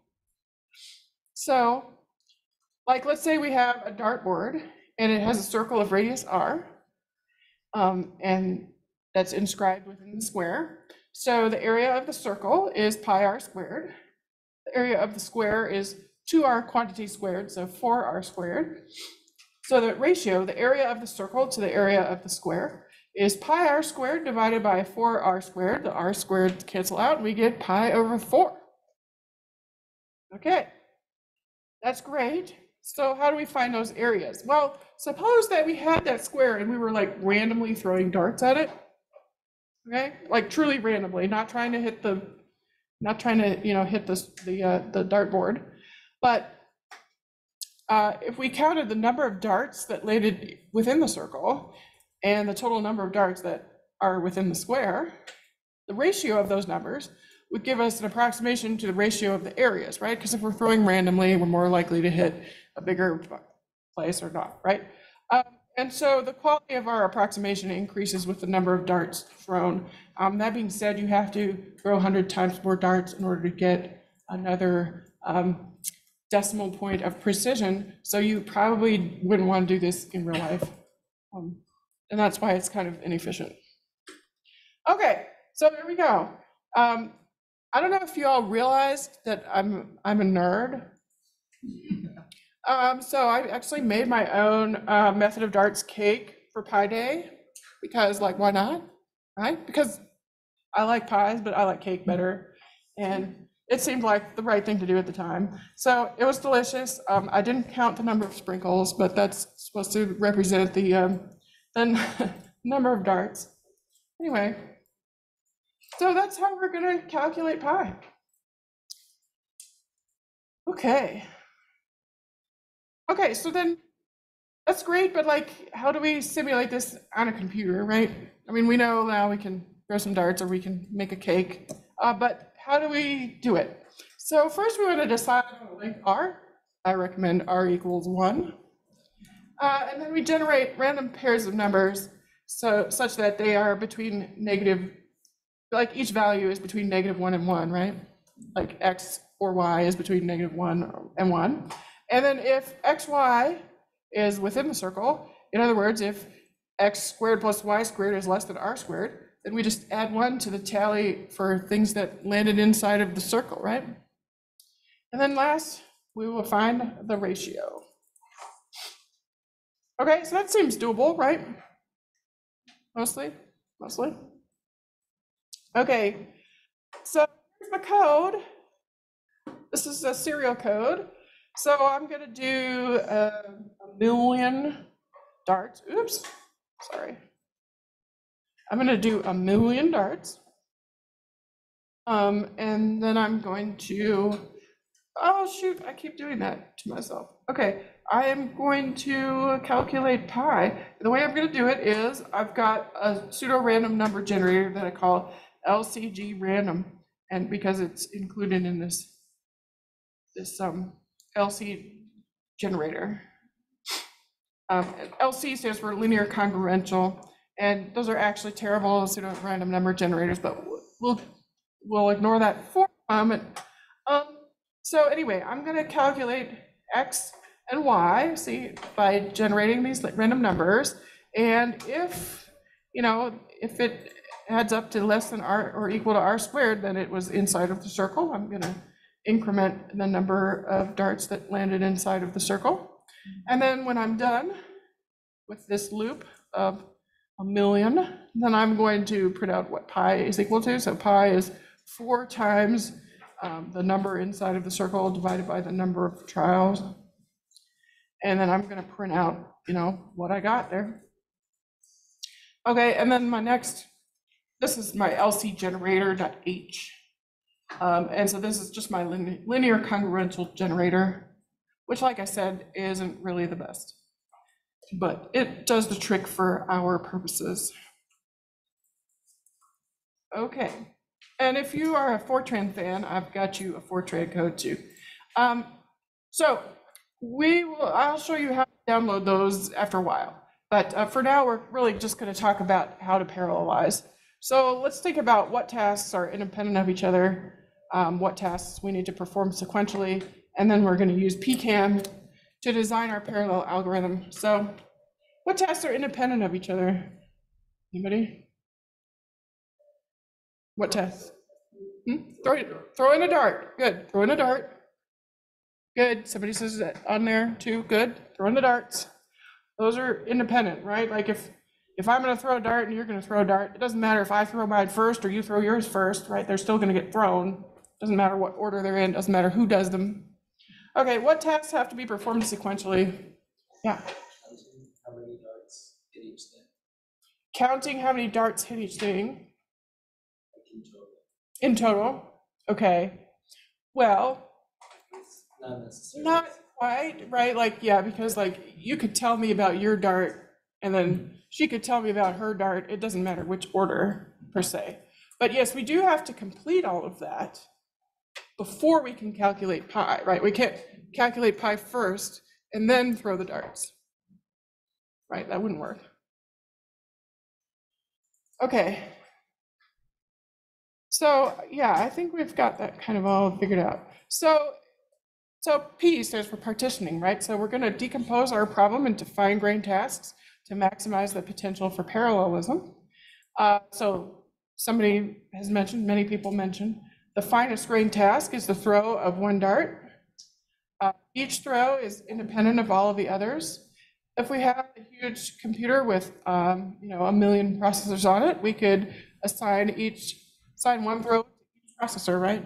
I mean, again, we're not thinking about whether that would be practical at this point. We're just thinking about the potential for parallelism. And so there's a lot of potential for parallelism there. Does everybody see that? Yeah. All right, so the next one is communication. So we got to determine the communication pattern amongst our tasks. So each processor throws their darts, and then they're going to have to send the results back to some kind of a manager process. So this is what we call a manager worker algorithm. And um, they're not always the best algorithm, especially scalability, wise. Um, but, you know, for this relatively simple task, this is probably the best type of algorithm that we could come up with. Okay, so then our next step is agglomeration. So we're going to combine uh, into coarser grain tasks to reduce communication requirements or other costs. So to get a good value of pi, we have to use millions of darts. Uh, we don't actually have millions of processors available. Sorry, y'all, I forgot to forgot to reserve um, Summit for us today or whatever. Frontier, Frontier, forgot to reserve it for us. My bad. Um, furthermore, you think about this. This is the same as the puzzle, right? Where we had, uh, you know, five thousand people doing the puzzle um, then we have to put all of their work together. It's going to cost more to put all of their work together than it is to just do it ourselves practically. So uh, that what I'm saying is that communication between the manager and millions of worker processes would be really expensive. So instead, we just want to divide up the number of dart throws evenly between all the processors that we do have to, to work on this with us, so that each processor does a fair share of the work. Okay, so then the last thing is about mapping. So assigning tasks to processors subject to the trade-off between communication costs and concurrency. So we want to assign the role of manager to processor zero. Um, the reason we do that is because there's always a processor zero, right? Because that's what we start counting from. There might not always be a processor five, something like that. So we just assign to zero. Uh, so we're going to have zero receive the tallies from all of the other processors and compute the final value of pi. And we're going to have every processor, including the manager, perform equal shares of dart throws. So as a manager, I can tell you, um, you know, in my work life, I do have a lot of extra overhead compared to everyone else in my group. So I don't do as much of the technical work as they do. But in this case, you know, all I, all the manager has to do is just receive these tallies and do one floating point operation, right? So that's pretty easy. So it's really not that much overhead, so they can just do everything that everyone else is doing too. Okay, any questions about, about, um, about that? About Using PCAM? We had a good question, um, Mhm. from Gavin Price about multi-processing Python and the multi-processing library using multiple processes rather than threads. And I was replying to you, Gavin, that, well, technically, um, Python supports both, but you have, um, multi-processing with, um, processes when you are considering communication that might be occurring off of memory that is not shared within a node. So there's communication from different buses. But within the same uh, node or the same shared memory, you will use threads for that communication. Thread, multiple threads can be assigned to the same process um, in that way. So it's kind of like a hierarchy. All right, and so Seth had a great question here. Would updating the count be a race condition? Um, yes, Seth, it certainly could be. Uh, It would be, it's something that, um, I, I don't know that I would necessarily call a race condition though, um, in, uh, in, in this case, because, um, you know, we know we have to do it, so uh, it- it's just going to be some overhead. This is how I would classify it. It's really more of an overhead that we have to do that we wouldn't have had to do if we were doing it in, in serial, right? When you're doing something in parallel, there's always some parallel overhead. And so I would classify updating the count to be parallel overhead. Um, You would want to make sure to avoid a race condition, um, and we're going to have to be really careful of that when we use OpenMP. But um, with MPI, everyone has their own separate memory. So probably what we would want to do is, you know, if I'm, let's say I'm doing 10,000, um, um, you know, dice, uh, dart throws, I almost said dice throw, dart throws. If I'm doing 10,000 dart throws, I'm probably just going to tally my own stuff up. And then at the end of it, I'm going to send that number, whatever figure I get, I'm going to send that to, to the manager. Rather than updating them every single time that I get a new result.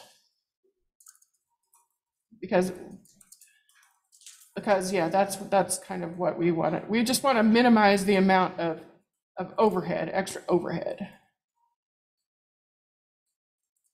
Okay, hopefully that makes sense. All right, so here's your assignment, should you choose to accept it. Uh, So you want to clone the whole assignment to Perlmutter from our, from GitHub. And then you want to copy um, darts um, to um, your, you know, your directory that you want to work in, and you want to parallelize the code using the six basic MPI commands.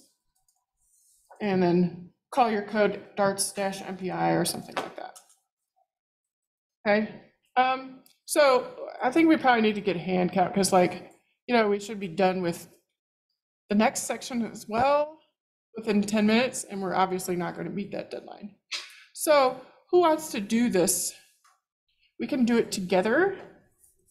Um, or we can just keep talking and learn more just understanding it, but not implementing it. What do y'all think?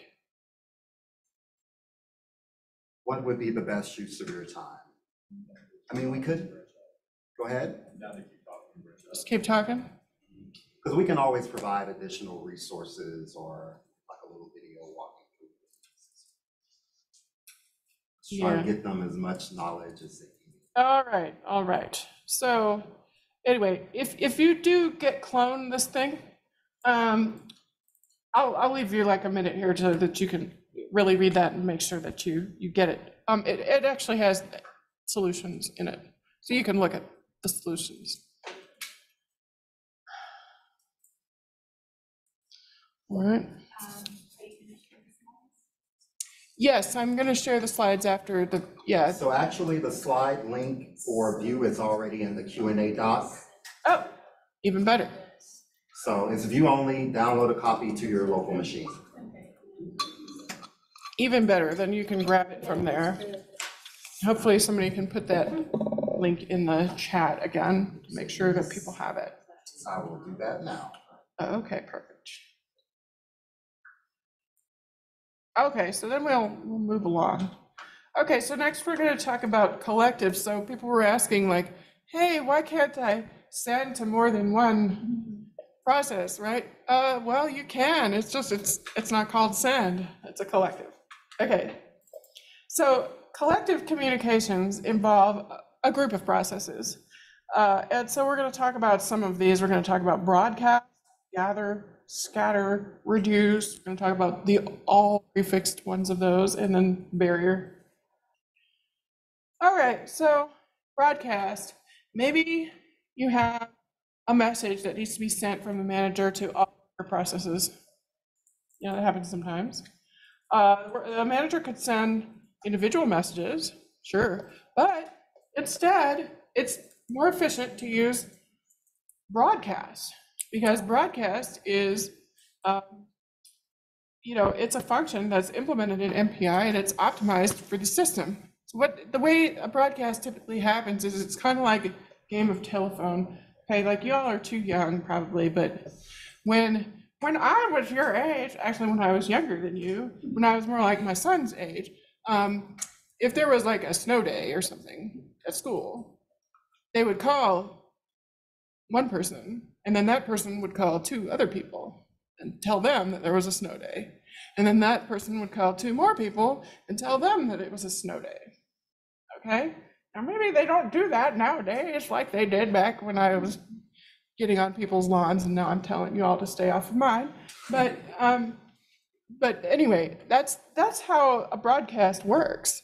Um, so it's, it's designed in like this tree algorithm where, you know, the, the root of the broadcast sends, I mean, under the, under the covers, this is what happens. You're not seeing this yourself when you're writing the code, but so instead of, instead of having to send P messages to P processors, it's really sending the log of P messages. Like that, and so that's how long it'll take. You know, it, it's proportional to the log of the number of, of uh, processors that you're broadcasting to rather than the number of processors that you're broadcasting to. So it's gonna be much faster. Okay, so when we're using the broadcast, we are sending some, something in this buffer. Okay? Um, and if, if we're uh, receiving, okay, let me back up. So there's a root, and that's who's sending it, right? The root is sending the, sending the message out to everyone. Um, and so in this buffer thing here, the root has to have something in there that it's gonna be sending. And everyone else has to have an empty buffer where it, they can receive that message into. And so this buffer has count number of items in it uh, of data type, MPI data type. And like I said, the root is sending it, and it's sending it across the communicator in the world. Okay, so that's one thing we can do. We can broadcast, we can send out to everyone. Maybe, on the other hand, maybe all of the other processes need to send the same message to the manager, something similar to the manager. So we could implement this by, you know, you call MPI send, you call MPI send, you call MPI send, and I call MPI receive, MPI receive, MPI receive. We could do it that way. But instead, we want to use the gather operation. So it, it uses the tree, it's just the, you know, goes, going the other direction.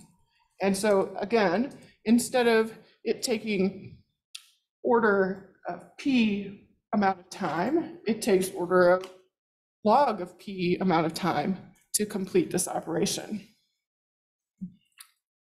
Um, and so the messages get concatenated in rank order.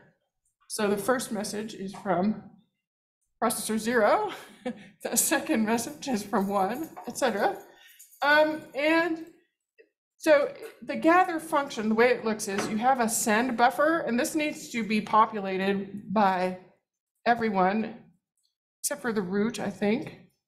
Well, I, actually, maybe the root needs to have it. I take that back. Um, send count is like how many items that you're sending. So you could send multiple items, right? And of, of a particular data type.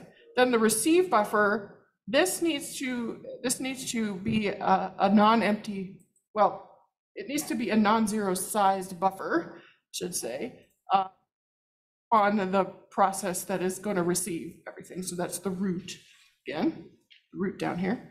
Um, and then the receive count, again, that's the number of items received from each process, not the total number of items. Um, and then the receive type. Generally, you know, the send type and the receive type are going to be the same, and the send count and the receive count are also going to be the same. But sometimes you might not do it that way. Um, and then, so then it's being received by this root rank. Um, and the context is this communicator here. Okay. Okay, so you remember we've got gather, you know, you can send the same message. Well, what if you want to send messages that are slightly different? You might want to send messages that are slightly longer or slightly shorter. So for example, let's say I'm trying to gather all of the uh, maximum residuals of each um, part of the subdomain of, of my thing. And let's say I have, uh, you know, I've load balanced pretty well, but maybe I have four subdomains on one process and three on another, right? So I want to receive the information about those, but they may be varying lengths, right? Because on one of them, I'm receiving information about four subdomains. On the other one, I'm receiving information about three subdomains. So uh, I might need to gather information that has a varying count. And so there's this gather V option, V standing for variable. Um, and, you know, it's a little confusing exactly what all of these items are in here, so I'm not gonna like go into it terribly, but anyway, I just wanted you all to understand that there is that option. So if you ever see an MPI function with a V at the end, means variable lengths, different lengths. All right, so then there's scatter. Okay, scatter, like maybe you have similar messages, but not the exact same message that you want to send to all of the other processes. So you can have this really long buffer that has like all of the messages in it. You can split it into the number of processors, different pieces, and send each individual piece to each individual process. Okay, uh, and then of course there's scatter V, which is if you have variable sized messages that you want to send back. Okay, can be a little confusing. Um, but anyway, I just wanted you, wanted you all to understand that like this is the way that it works. And so these, these are functions that do exist that you could use if you wanted to make a more advanced program. Okay, so the next thing is reduce. So maybe we want to do a sum of many subsums owned by all processors. Hmm. Did we hear about that in our previous exercise? Hmm. Maybe we need to find the maximum value of a variable across all processors. These are two different things that you might want to do with reduce, and there are other applications of the reduce function as well. But um, you can use what's called a reduce operation across all of the processes. Um, and so MPI reduce is really handy. People use it a lot. And so there's a send buffer, which is the, the, the item or items that you want to send to be reduced. There's a receive buffer, and that needs to be non-zero size only on the root, the root. Um, and then this count is like how many items that are being sent through reduce.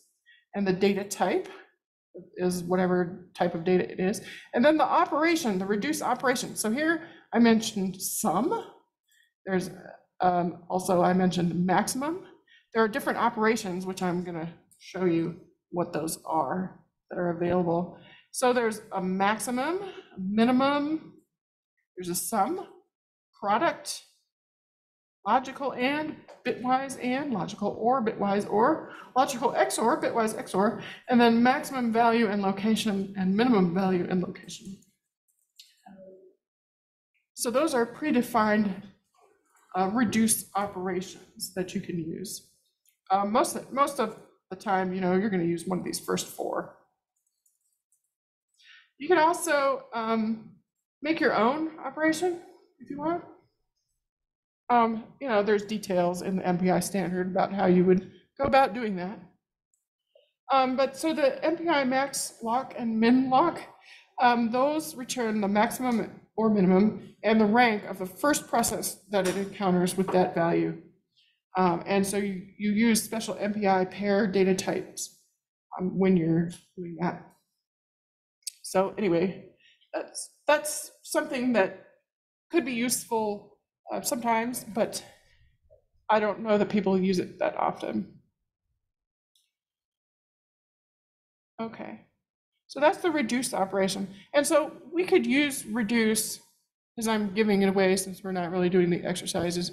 We could use reduce with our uh, dart throwing exercise, right? So you throw all your darts, I throw all my darts. We got to add it all up. A reduce, right, is a way that we could do that because we've got the sum, MPI sum, right? So we just, you send, you send your stuff through a reduce to the manager process. And then it, it all gets condensed into, um, you know, the sum of all of the values that everybody has sent out. Okay, all right, so then there are operations that are all operations. So maybe you want to have the result of a gather or a scatter or a reduce on all processes instead of just one root process. So in that case, we have these all process, all um, functions. So we've got MPI all gather, uh, MPI all gather V, because, you know, we can do a variable kind. Uh, And then we've got all to all scatter gather. Okay, I should mention, yeah, we've got all gathers, um, we've got, yeah, that's fine. Um, there's all to all, and all to all is something that's gonna make your brain hurt, so I'm gonna try to explain this, but it's, so it's an all gather where each process sends distinct data to each receiver. So it's like a, a gather and a scatter at the same time. And the way it works is, is um, I have, you know, I have a message for you and for you and for you and for you and for you.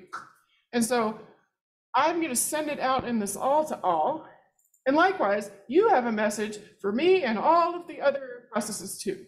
And so I'm going to send out all my messages to you all, and then I'm going to receive all the messages from you all in rank order.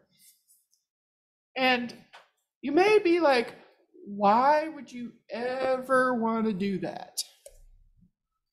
Well, I mean, I know there's a lot of, especially like astrophysics codes that you they, they use all all all the time. And the reason is if you have like you're trying to simulate the universe, okay, and you have like all these different galaxies, what you do is you subdivide the domain of the universe into pieces, okay, and within those pieces they have galaxies or whatever, you know. And the thing about galaxies is that they they all impact each other because of gravity. Gravity, it, it just goes on forever, right? So the gravity of, of the galaxies in this upper corner here is impacting whatever's happening in this corner way down here. Okay, so if you can imagine, I have my universe and it's divided up into all these pieces. I need to send the effects of gravity from my piece up here to everyone else. And they and and it's individualized because it's based on how far away they are from where I am and so forth, right? And on the other hand, they also need to send everything to me. So I need to send out to a thousand different pieces of the universe, and I need to receive from a thousand different pieces of the universe. Very similar, but not identical information. So that's one example. And there are plenty of others, but that's just one that I know of. Yeah, And I know one of my first paper was on um, different implementation strategies for all-to-all for gyrokinetic toroidal code. So, you know, GTC lattice Boltzmann methods, they use a lot of global communication mechanisms. And so one of the strategies we did was determining the effects of message size on the all-to-all communication. And if larger message sizes needed to use a hybrid or different approach. So the MPI library provides you with the kind of stock, but people can create or modify and make their own alternative communications. And that was one that I did when I used, I created four different implementations of all-to-all based off of message size, number of communications, number of communicators and stuff, so. I'll post a link to the paper in our Q and A. Awesome. Right, so, yeah, and then if you, if you really want your brain to hurt permanently, then you can also try to figure out all to all V, because that's variable sized or various different ones. Anyway, I'm not gonna go into it because my brain is already hurting way too much from thinking about all to all. So, anyway, just know that that's also available. Okay.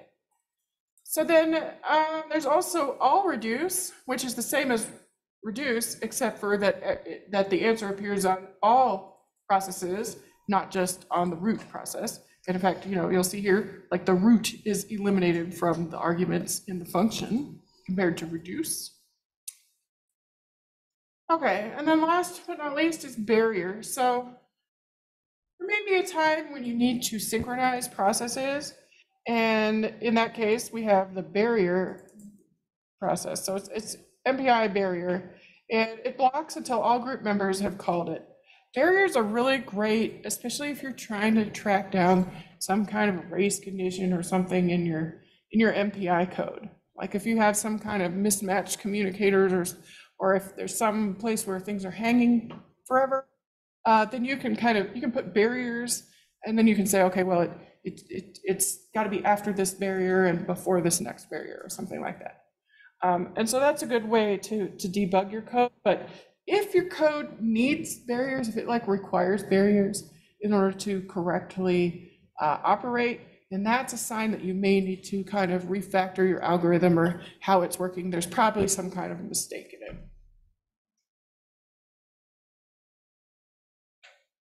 All right, so if you like MPI, there's lots of things that you can look at. Um, there's the MPI reference, there's the MPICH documentation. There's, uh, there's a really good MPI tutorial from Lawrence Livermore National Lab. And then you can read the MPI standard, like I said, if you're, you know, if you're having a little insomnia, you know, just download that bad boy, put it on your tablet and just straight away. Okay, so then if we were gonna do the exercises, we would do computing pi with MPI collectives. And it's basically the same thing. Um, the difference here is that instead of using sends and receives in order to send the number of darts or whatever, um, what you're gonna do is you're gonna use an MPI reduce. Yeah, you can see that in the solution. Okay, so we're gonna switch gears a little bit here. We're gonna talk about OpenMP. OpenMP is different from, uh, okay. Okay, Julian. At the beginning, we learned about different supercomputer architectures. The MPI commands can be used universally, right? yes, Julian, it can. You're correct. OpenMP, however, is really only for if you have a shared memory situation. Right, because you can always pretend that a shared memory is distributed, but you can't pretend that a distributed memory is shared. Um, Well, there are some ways that people try to make that happen. Um, Some of those would be um, UPC or UPC++. um, And then also something called global arrays. Um, But again, that is under, under the hood, that there is a lot of message passing going on in those paradigms. So anyway, where was I? Okay, so we're going to talk about OpenMP um, and what it is and OpenMP directives or data scoping, um, runtime library routines and environment variables, how to use OpenMP, and then hybrid programming. Okay, so uh, OpenMP. Okay, well, like MPI, OpenMP is an industry standard shared memory programming model. There we go. Uh, it was first developed in 1997. There's the OpenMP Architecture Review Board, um, and that determines the additions and updates to the standard. The current standard is 5.2, and the standard includes GPU offloading, um, but we're not going to really talk about that today. And if you have any questions about how the OpenMP ARB works, our own Helen, who is online here, uh, is on that board, and so she can tell you all the ins and outs of what's going on there. Well, thanks. Okay, so Helen added exercises and sample batch scripts uh, using the node reservations to the Google Doc. Thank you, Helen. Okay. All right, so here's some really cool things about OpenMP that I like. Um, so the first thing is you can parallelize small parts of your application one at a time, beginning with the most time critical parts. Whereas with MPI, you pretty much have to parallelize everything at once. Uh, you can express simple or complex algorithms with OpenMP. The size of your code doesn't really grow very much, you know, just a little bit. Uh, the expression of the parallelism is pretty easy to read. It flows very clearly. You can kind of tell what's going on. Uh, and you can use a single source code for OpenMP and non-OpenMP. Uh, you just you can just have your compiler simply ignore the OpenMP directives. And I'll show you what I mean by directives very soon here so that you can understand what I'm talking about. But basically, there's some syntax that says this is an OpenMP directive, and your compiler can choose to ignore those things if you don't want to use OpenMP. Okay, so the API is a combination of directives that I was talking about. There's some runtime library routines, and there's some environment variables.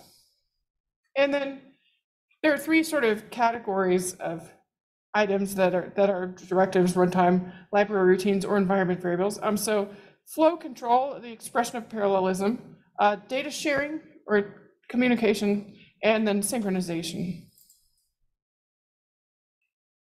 Now, the parallel model for OpenMP, it's it's shared memory, and it's thread-based parallelism, and there are explicit parallel regions, and it is it uses what we call a fork and join model. So you start a, a OpenMP parallel region, and it forks a bunch of threads, and they all do whatever the things, and then you can close it back up and go back to just a single thread, and then you can open it back up again um, with another parallel region. Okay, so let's talk about directives. And I wouldn't, wouldn't have my nerd cred if I didn't include something about the prime directive, right? Okay, uh, so we'll talk about um, the syntax overview so you can understand what I was saying about syntax. Um, talk about parallel, loop, sections, synchronization, and reduction. Okay, so the basic format, if you're a C or C++ person, is you've got this pound or hash pragma OMP, then the name of the directive, there might be some kind of clause in addition, and a new line. Okay? Uh, All directives are followed by a new line. A new line just means return, enter, you know, just going to the next line. Um, It is case sensitive.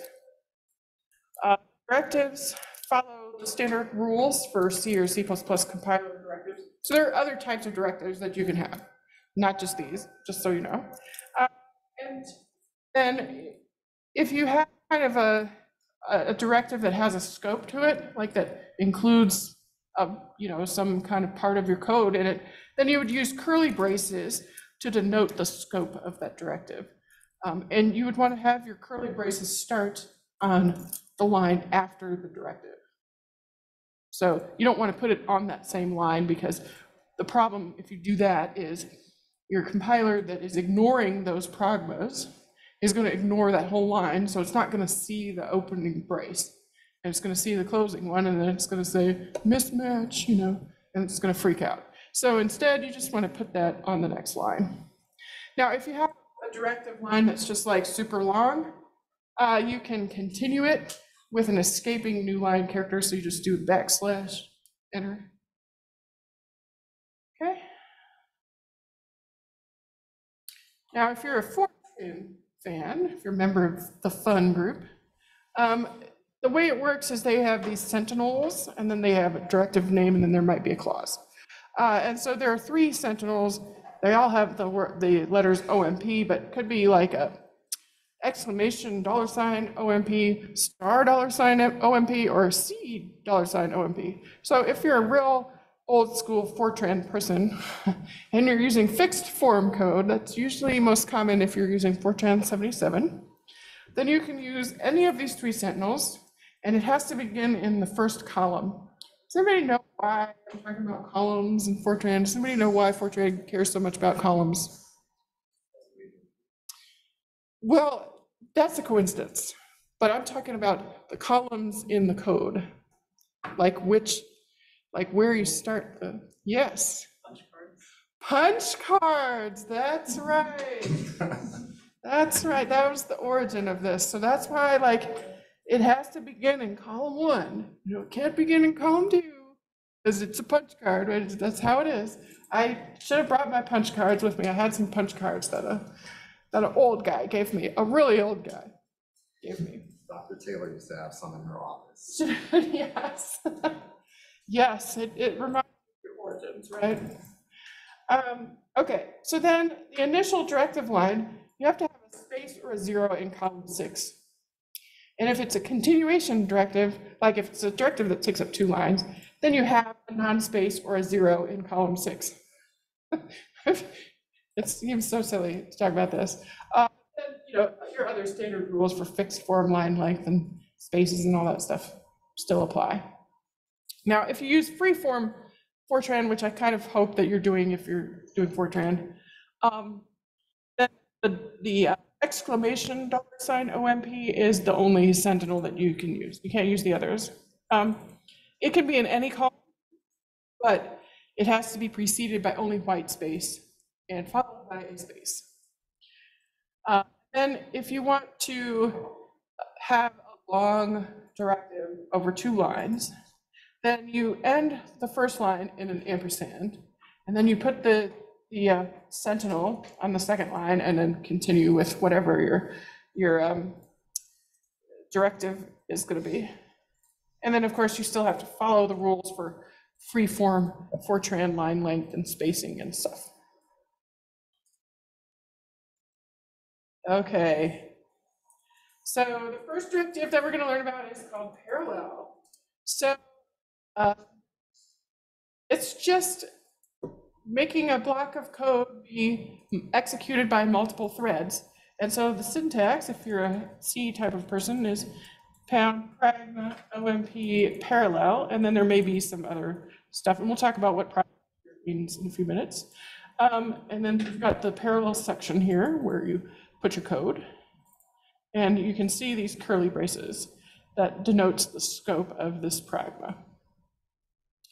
Now, if you are a Fortran person, and really, I'm only going to worry about freeform Fortran, I'm not going to do fixed form, sorry, people. Um, But anyway, it's just like this, it's, it's um, exclamation dollar sign OMP parallel, and then, you know, I'm showing you how to do a continuation in case you wanted to do a continuation. Um, and then you have your parallel section, and then it has dollar sign, sorry, exclamation dollar sign OMP end parallel. So that's how it does it. It has parallel and parallel versus using the curly braces like you do in C. Okay, here's an example. This is our first example. This is our hello world of OpenMP. Okay, so hello world from threads. This is basically, I'm just gonna get, okay, we don't know about this, this function yet, but it's basically the same thing as MPI com rank, where you're finding the rank, which numbered thread that, that you're at, right? So it's just gonna be a number. So then I'm gonna print the number where I'm at. Okay, so first I'm gonna print hello world from threads, then I'm gonna have all of the threads print out their numbers, like what number I'm at. And then um, end, I'm gonna print I'm sequential now. So oops, you can see like this is the extent of my parallel directive. Is just these two lines. Okay, and if you like Fortran, I've got it written in Fortran too. Uh, but it's the same, it's the exact same thing. All right, so I'm gonna run my code. And so, you know, I run it the first time, I get hello world from threads zero, one, two, three, four. I'm sequential now. Yay. I run it another time though, I get hello world from threads one, two, zero, four, three. I'm sequential now. Okay? You're all, y'all okay with that fact? It's a fact, okay? This is important to understand is that the order of execution is scheduled by the operating system. So you cannot depend on the threads doing anything in a particular order. Okay?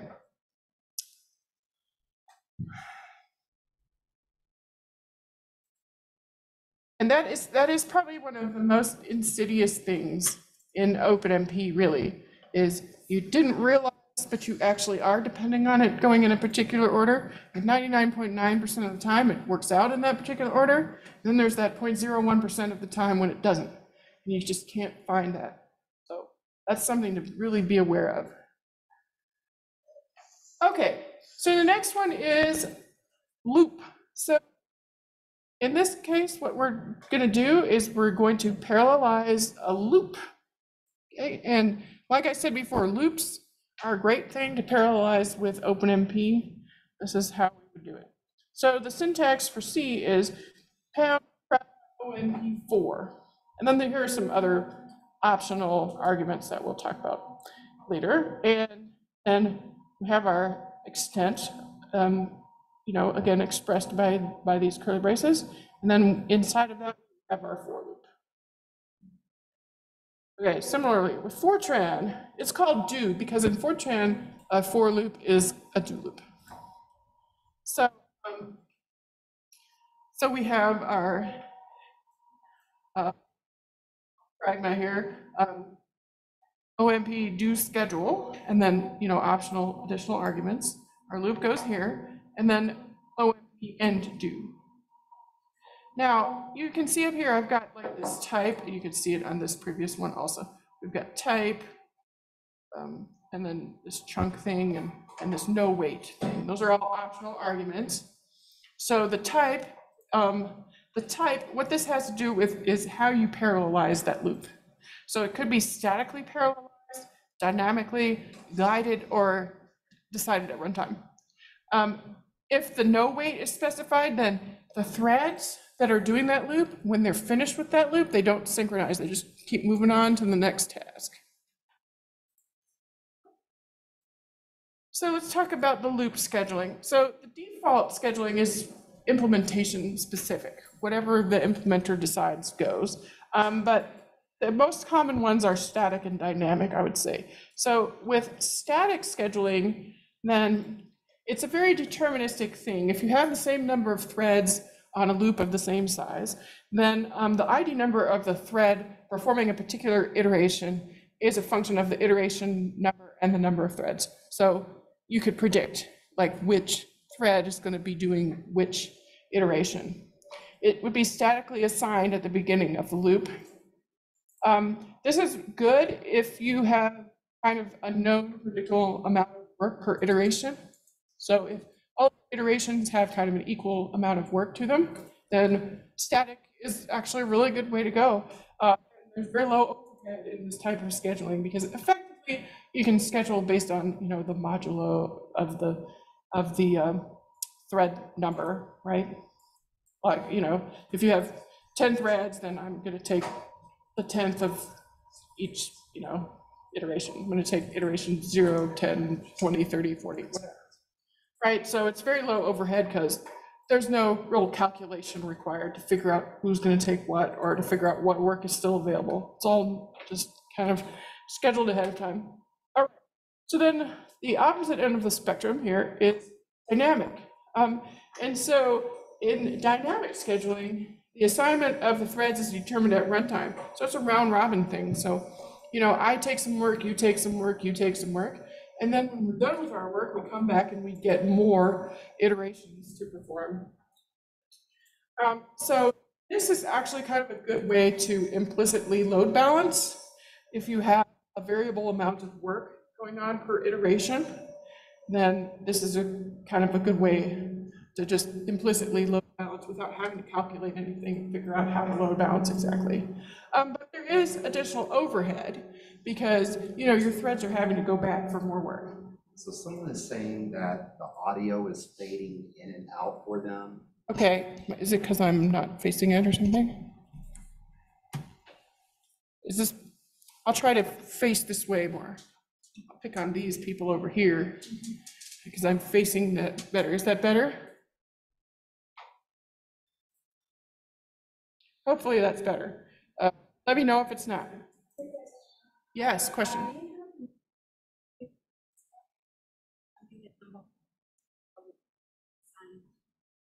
No, I did not discuss the number of threads that will be assigned. Um, we'll talk about how, how you can set that. Yeah, that's an excellent question. Okay, so this is kind of a table about loop scheduling. And, um, you know, it's really here for your information for later.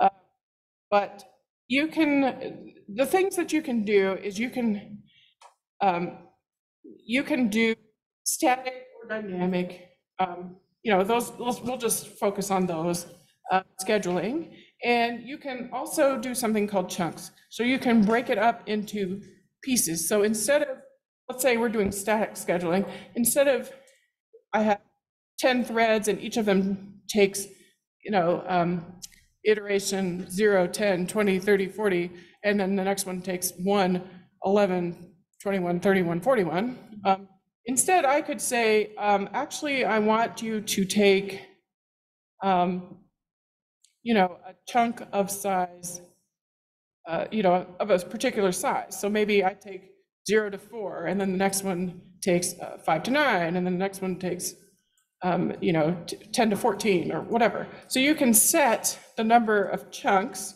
and you can set the size of the chunks depending on um, what you do in your OpenMP uh, arguments. So anyway, there's different ways to do it. Um, I just tend to like to leave it to the uh, compiler and the runtime. That's usually what I do, but of course, you know, you might want to change it because you might want to do some optimization. Up to you. Okay, so now the next question is about which loops are parallelizable, right? Because not every loop is actually parallelizable. So there are a few requirements for your loop to be parallelizable. So the first one is that you have to know a number of iterations upon entry into the loop. So when you get to that point where you're about to do the loop, you need to know it's going to run for n iterations. And that n is not going to change. Okay, the next thing is that each iteration has to be independent of any of the other iterations. So if I'm at step three and I have to have completed the uh, step two uh, in order to execute step three, then that is not a parallelizable loop, right? Because it, there's dependence upon previous step. Um, and also there cannot be any data dependence between loops. So the results in one loop cannot be dependent on the results of, of the previous execution of the loop. So uh, not parallelizable loops include conditional loops. So there's, a, you'll see a lot of while loops. A while loop, you tend to see that when, um, for example, you have some kind of a tolerance, right? Like in a numerical method. You'll find often, you know, you're trying to, let's say you're trying to find, um, you know, the, the minimum of a function using the, the Nelder-Mead optimization method. Okay, well, so what you do is you have kind of this like little rope triangle and it kind of goes to, to the right place. But there's a residual, you can calculate like the difference between the, um, the value function there and, um, and the, the, you know, the correct answer or whatever. And, and there's, so there's a residual. And so you, you keep going until that residual is below a certain tolerance, like maybe 10 to the minus six, something like that. Um, and you can't predict how many iterations it's going to take to reach 10 to the minus sixth, right? So that is a conditional loop that um, is not parallel. And I mean, even if it were parallelizable, um, the iterations of that are dependent upon one another because your starting point for your next optimization step is based on the previous minimum that you found, kind of thing. So um, it would not be a parallelizable loop. Um, also, if you have an iterator loop, like over a, a list templated list in C++, for example, that is not parallelizable. Um, if your iterations depend upon each other, like I just said, basically, uh, an optimization method is a sequential algorithm. So, um, you know, you can't parallelize that really. And then, of course, data dependency. Now, one trick that I learned from somebody, I thought it was pretty cool. If you can run a loop backwards and get the same results, then it's almost always parallelizable. So if you think about it, you know, logically speaking, you know, something like you're calculating the minimum of a function, or you're finding, or you're reducing the residual uh, step by step, right? Like you cannot run that backwards, right? You, it doesn't make any sense to, to go from a small residual to a large residual, right? That's, that's exactly the opposite of what you're trying to do. So that's a kind of loop that you definitely could not parallelize with OpenMP. Okay, so next we're going to talk about an example here. So Gaussian elimination. Has anybody done Gaussian elimination? Does anybody know what I'm talking about? Good, good. Okay, excellent. All right, so for the rest of y'all, you remember like algebra class and like advanced algebra class where you had to compute stuff like, well, you had to calculate stuff like x plus y plus z equals three, um, 2x minus 5y minus 7z equals 12. Uh, you know, so you'd have like these three equations in x, y, and z, and then you'd have to calculate for x, y, and z. So do you remember how you did that? Just kind of, you know, in theory, how you how you would do that? How would you do that? we um, we solve equation one and two for two variables, and then equation one and three or two and three, for the same two variables, and we solve that system, Right, right. So you would take like, let's say, the first and second equations, and you would eliminate, eliminate the z variable, right? So then you would have an equation in x and y. And then you would take like the second and third equations, and you would also eliminate the z variable, and you would have another equation in x and y. So now you have two equations in two unknowns. And so then you do the same thing, right? Well, you could do substitution, but we won't talk about that. So instead, we're still talking about elimination. So you would take your x and y equations and you would eliminate x or y, right? And then you would get, let's say we're going to eliminate y, uh, and then you would get an equation of in x. So you'd get, you know, 12x equals negative 27. And then you would have to figure out what is x. Okay, then you have that x value, and then you plug it back in to one of those two equations of two unknowns of x and y, and you would solve for y. And then you would have x and y, and you would plug it back into like the first original equation, and you would solve that for z, right? So that's, that's Gaussian elimination. It's just, it's not called that when you're doing it that way. Gaussian elimination is the equivalent when you're using a matrix instead of, you know, you're actually manipulating algebra in that way. Just, you're just referring to like row reduction algorithm, row reduction algorithm? Right, yeah, Okay. yeah, so, um, so effectively, if you take, if you take that, those three equations with three unknowns, and you just take the coefficients of, of the variables, um, you make a matrix, right? You could see how that would be a matrix of numbers. And then what you're gonna do is you're gonna eliminate everything below the first number in the first column, uh, everything below the, the first row. You're gonna eliminate the second and the third. You're gonna make those into zeros by subtracting some multiple of the first row from the second row, right? And then subtracting that, some multiple of the first row from the third row. Okay, and then after that, then you're gonna operate on the two by two matrix that is the last two rows. Okay, and you're gonna eliminate the, the second number, but in, in this case, it's now the lower left number. You're gonna eliminate that um, from, from the matrix. You're gonna make it into a zero by subtracting some multiple of the first, well, the second row from the first, from the third row. Sorry. So here's a picture of it, right? So um, in this case, I'm operating on the, in the upper left corner here, I'm operating on the yellow row. So what I'm doing is I'm taking the yellow row and I'm subtracting a multiple of it from the second row such that the yellow, uh, the yellow in the first column there of it becomes zero, right? And then I'm also going to subtract another multiple of that first yellow row from the third row so that the yellow piece in the first column becomes zero, right? I'm going to do that all the way down. Okay, and so then I'm done operating on that one. And um, so now that's blue because I'm done with it. Uh, and then in the second picture there to the right, I'm working on the second row.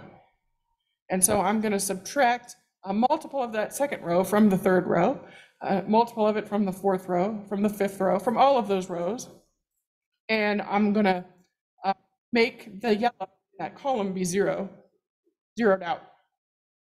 Okay? So um, in this code that I have here, I've got these three loops. I've got an I loop, a J loop, and a K loop. Okay? And so the I loop represents, you know, which row column am I working on? The, uh, the J loop represents uh, which row am I subtracting the I row from? Yes. And the K loop represents which column am I, am I subtracting the um, ith row from? Does that make sense? I think I said that all correctly. Okay, so now we're all linear algebra experts. And so now we can think about how to parallelize this.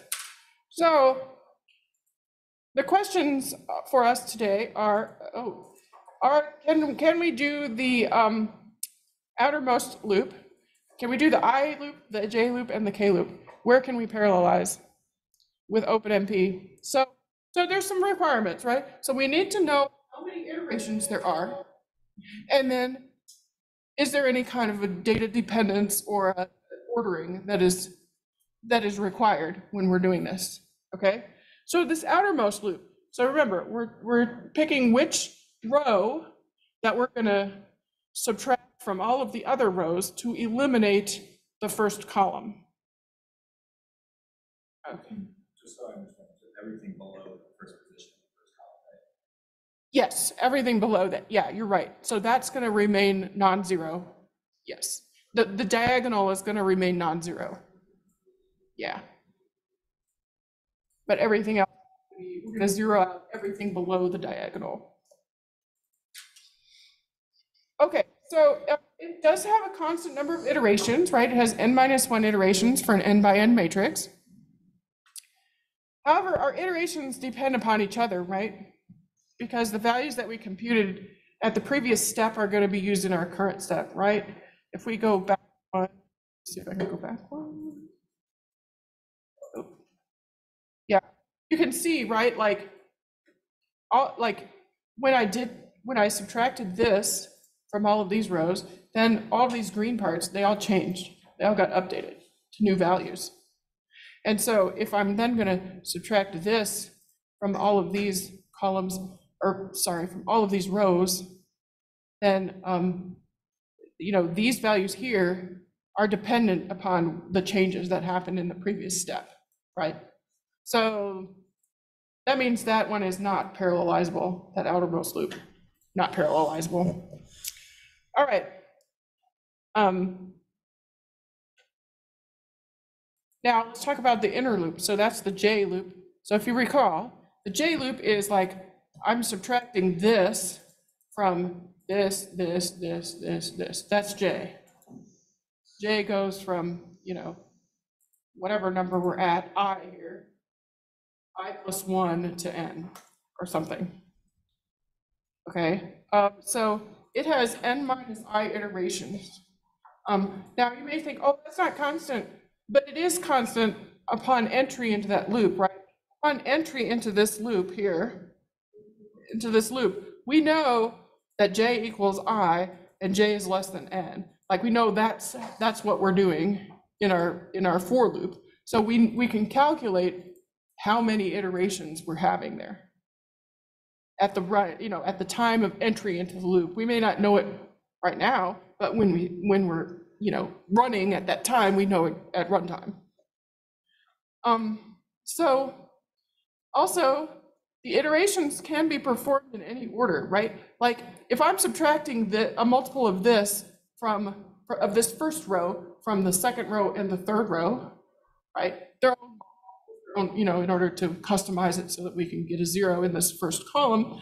Um, Does it matter if I, if I subtract it from the first row, from the, sorry, from the second row before I subtract it from the third row? Like, does it matter? No, it does not matter, right?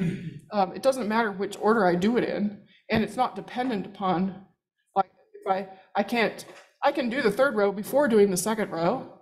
You know, I can do it in any order. So that means that it is parallelizable. So that inner loop J is parallelizable because we know the number of iterations and we know that those iterations can be performed in any order. The innermost loop is before we're talking about the middle one, right? The middle one, yeah. Yeah. J. Okay, so then K, the K loop is subtracting from these individual entries. So the K is really about this direction, right? So, so let's call this X, Y, Z, okay? Does it matter if I subtract um, the Ys and then the Zs, or the Zs and then the Ys? Like, it doesn't matter, right? I can do it in any order, right? Because those are all independent of one another. So, like, like this, uh, like the inner loop, we have n minus i iterations. We, so we know a number of iterations that we're gonna have to do. And, and they can be performed in any order. So this innermost loop is also parallelizable. So that means we could parallelize on either one of these loops. Okay, so now I'm gonna show you how I did it. I added one line to my code. It's in green there. If you look here, here's the original code. I add one line. Pragma OMP parallel for. That's it. That's all I had to add. That parallelized both the inner and the innermost, or just the inner? Uh, that parallelizes the J loop only. Okay, now, uh, may, you may say like, oh, well, why did you parallelize that one and not the K loop, right? Because I could do either one. But um, the reason I did that one is because there is some overhead to the forking of the, of, of the parallel region. And so if I do this one here, if I do the J one, then I only to- I only do it, um, I only do fork and join like n times, right? Whereas if I did it in here, then I'm doing fork and join like, I don't know, n squared over two times or something like that, right? So it's just gonna save me a little bit of overhead. Now, um, you could, if you're really adventurous, you could parallelize twice, like you could parallelize and parallelize again. So I could put two pragmas there, but, um, you know, that's too confusing. That's really not worth doing. So, um, instead, it's just, it's just the most straightforward and, and most efficient thing to just parallelize this J loop, the, the outermost loop that you can parallelize.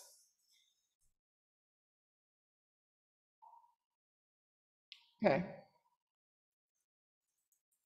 All right, so now there's some directives about synchronization that we're gonna talk about. So sometimes you might need to be sure that your threads execute some regions of, of the code in the correct order.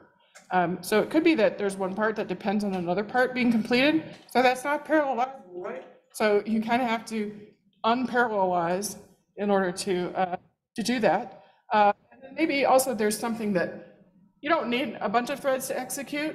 So for example, maybe you are printing something out. Um, you just need one thread to print it out. You don't need, you know, duplicates of it. So we have some synchronization directives that we can use. So there's one called critical, one called barrier, and one called single. Okay, so critical, it specifies a section of the code that must be executed by only one thread at a time.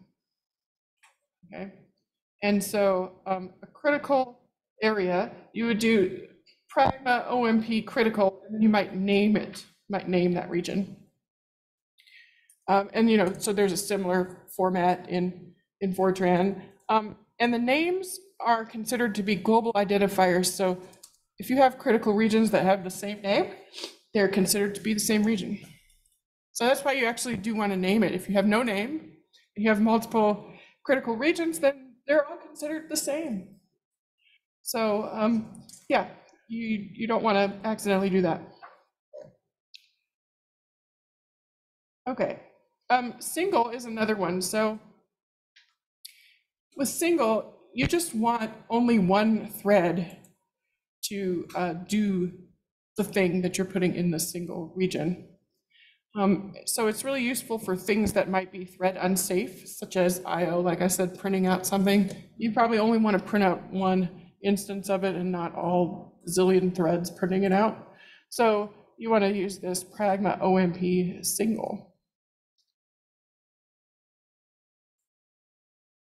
Okay, and then there's a barrier. Um, and a barrier synchronizes all of your threads. So when a thread reaches the barrier, it'll wait until all of the other threads have reached the barrier, and then it'll resume executing.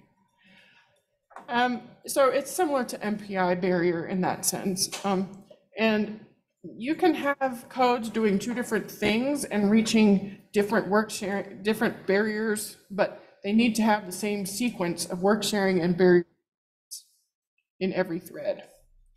Now, barrier is once again one of those things that it's really useful when you're trying to debug your code.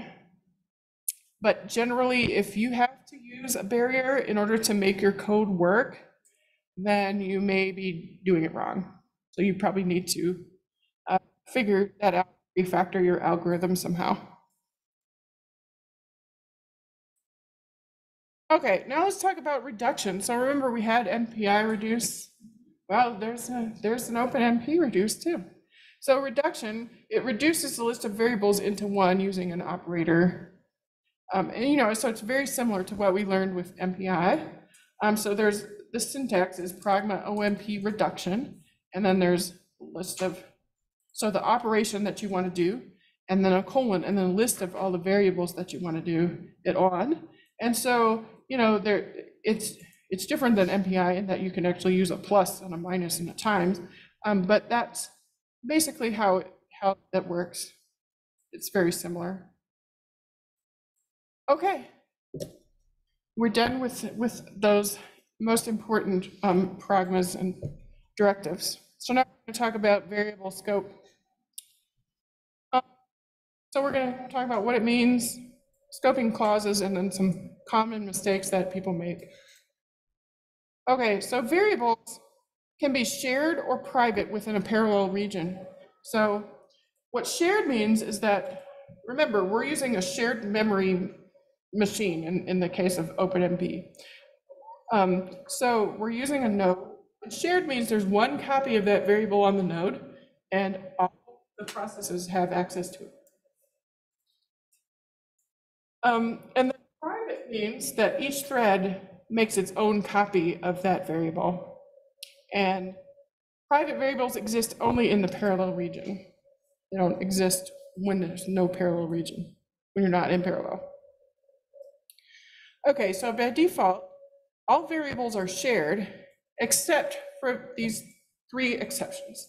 So index variables of the parallel region loop, that's private.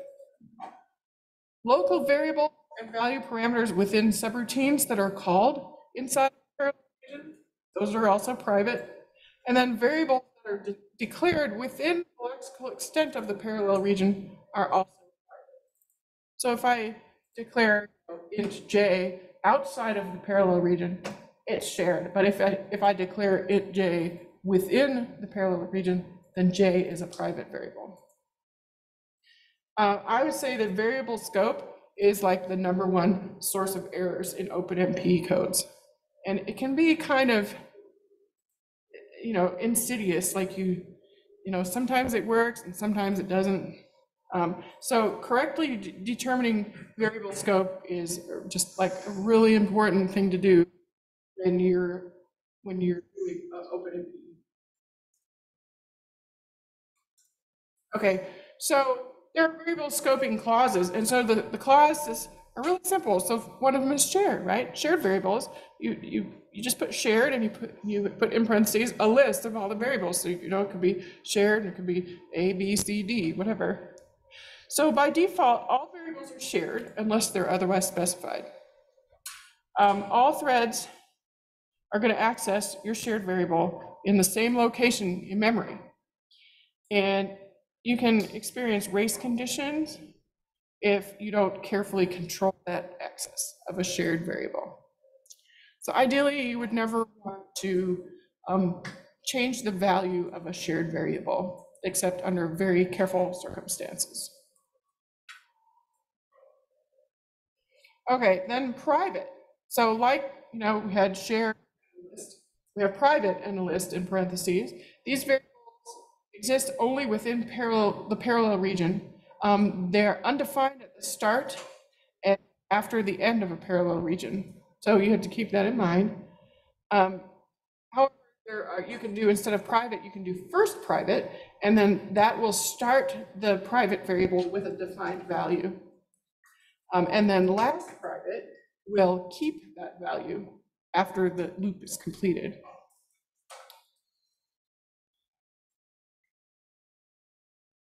Okay, so here are some very common mistakes. Uh, a variable that should be private is public. Okay, well, I shouldn't say public. I should say shared. I don't know why I said public. But anyway, uh, that can happen.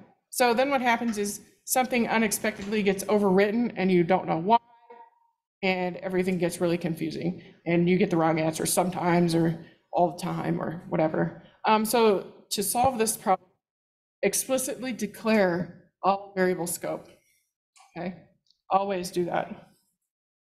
Um, another common mistake can be non-deterministic execution. You get different results from different executions.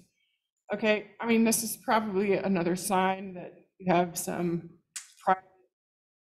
some variables that should be that are shared or um, or you're depending on some kind of ordering that you didn't think you were depending on, um, ordering of execution. So you just have to look at your code and try to figure out what's going on. Um, and then a race condition, that is a big one in this case, you'll see that sometimes you'll get the wrong answer, sometimes you'll get the right answer. Um, and so a solution is, you know, this is usually a sign of a shared variable that, that should be private. Um, and you can use a tool like Cray Reveal or Codee to rescope your parallel region or your loop. Um, yeah, so there are tools. Um, actually, I really recommend these tools. Um, Codee is one that we have offered a lot of trainings on recently at NERSCN that we provide for our users. Um, and basically, a machine is a lot smarter than you when it comes to scoping your variables. Um, and so it pretty much always gets it right. Uh, so you can use Codee or you can use Cray Reveal as another tool. Um, and they they will scope your loop correctly for you. Because, you know, sometimes you just miss it when you're looking at it, but but the tool will know, um, you know, whether things should be private or whether they should be shared. Okay. So um, I've got my Gaussian elimination because, you know, we're all linear algebra experts as we, as we know. Um, so here's my Gaussian elimination. This is not exactly the same as the one that I had in the previous example because the previous example is correct. So let's look at this and see if we have any mistakes with our, um, our variable scoping. Okay, so does anybody see any potential issues here? And all perfect in every way. Oh, I see somebody's making some comments here. Let's see what we got. Ah, declaration of ratio. Yep.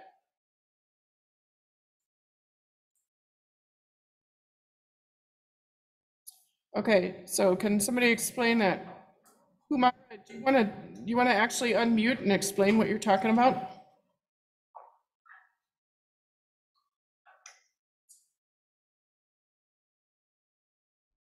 Are you too shy?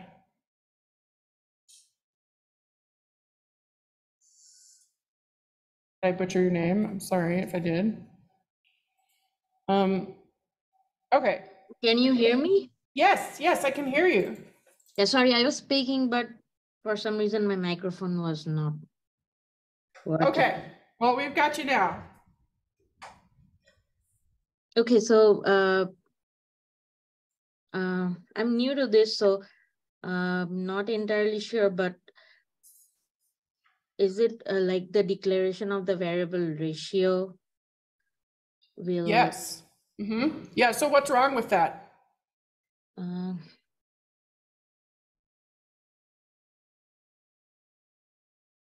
uh, it cannot access uh, the uh, the parallel the parallel part of the code cannot access the variable ratio.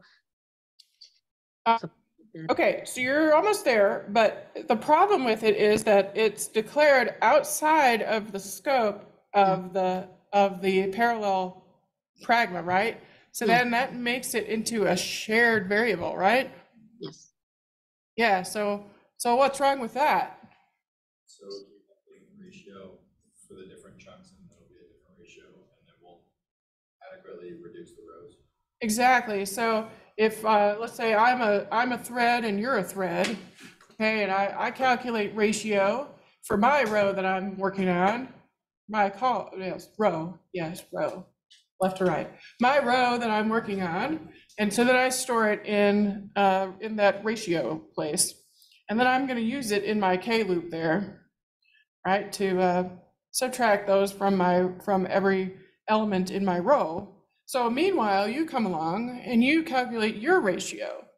And so then you overwrite what I put into the variable ratio. And so uh, you overwrite it with your value. And so I'm subtract, let's say my ratio was five and yours is three. Well, now instead of subtracting five times AIK, I'm subtracting three times AIK. Right? Yeah, I got it now. Yeah, so that's, that's a problem there that I, that I made, um, made that mistake. Um, anything else? Anybody see any other problems? Uh, it's it's not n minus one in the J and K loops. Say it again?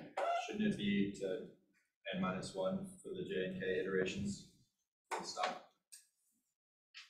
Or did I miss? Um, no, that's, I think that should be N. I just missed one. Um, I could be wrong. Yeah, I think it's N because so, so with the I, the reason that that's N minus one is because we don't have to subtract anything from the very bottom row once we get to the very bottom, right? Because it's completed. So that's why it's N minus one there. The other ones should be N. So that's not, so I didn't put any mistakes in the algorithm per se. I just put mistakes in my parallelization here.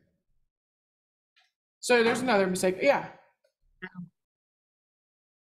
It's, so, is there like a, I've heard about false sharing too, and like cache Mhm. issues where you've got the same, where it's not an actual data race for that data element, but it's a s- data race where you're writing to the same like cache line Mhm. in different threads. Would OpenMP know how to handle that for the B, um, at the bottom, that assignment? Ah, okay, that is a great question. Uh, I, I don't really know. Um, so the question was about false sharing. And so like when you're writing um, to the, the cache line, whether it's gonna, Charles, do you have any thoughts? Repeat the question one more time. I was handling somebody else's question. Um, I can ask it in the chat. Oh, okay, yeah, okay, go ahead. Yeah, I'm sorry, I don't know the answer to that one. Yeah, sure. Yeah. There's supposed to be brackets in the parallel section, so it's the only way where Oh, that's a good question. Should there be brackets like after Pragma OMP parallel for? Um, if you wanted to be absolutely certain that that, that that was the region, then, then you could do that. Um, however, because the for is immediately the next line, then it's, it's like obvious that that's, um, where it, that's, you know, what's gonna be parallelized. And then it itself, that for, that J for loop there, it has curly braces around it. So, yeah, so you don't really need it, but that's a good question. Yeah, I have a question. I assumed that uh, we explicitly need to define the variables as either private or shared uh-huh, when we write them. But from the code, it appears just where we put them in five. Right, so, right, we don't need to, okay, it is a good programming practice to explicitly define what is private and what is shared, Right, but, uh, OpenMP won't stop you if you don't do that. okay. It just As has its as we put own them in the rules. right. Yeah, right. So you might, so you can run into trouble like this, like this is why this is a big deal, because you can shoot yourself in your own foot Yeah, yeah. because you didn't put it. Okay, so somebody figured out that ratio was bad. So what about I? Is I okay? No, no, 'cause it's an iterator, so it's shared, it's also a shared iterator, but it shouldn't be. Yeah, it, it is shared, but nowhere in the code do we, uh, do we alter the value of I inside of the parallel loop, right? So it's probably safe.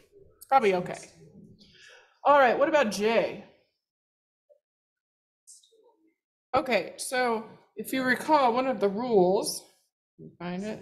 Whoa, I was giving away the answer. One of the rules was, where is it? Um, shared pri- private. No, where, where did I put it? Okay, oh, there it is. Everything is shared except the index values of the parallel region loop. Okay, so that's the, the, the J is the index value of the parallel region loop, right? You can see that. So this, this parallel region here applies to J. So we're probably good with J, like we're okay. Now, it would be good practice if we explicitly said that it was private, right? But um, we don't have to. It is private by default. Okay, so now what about K?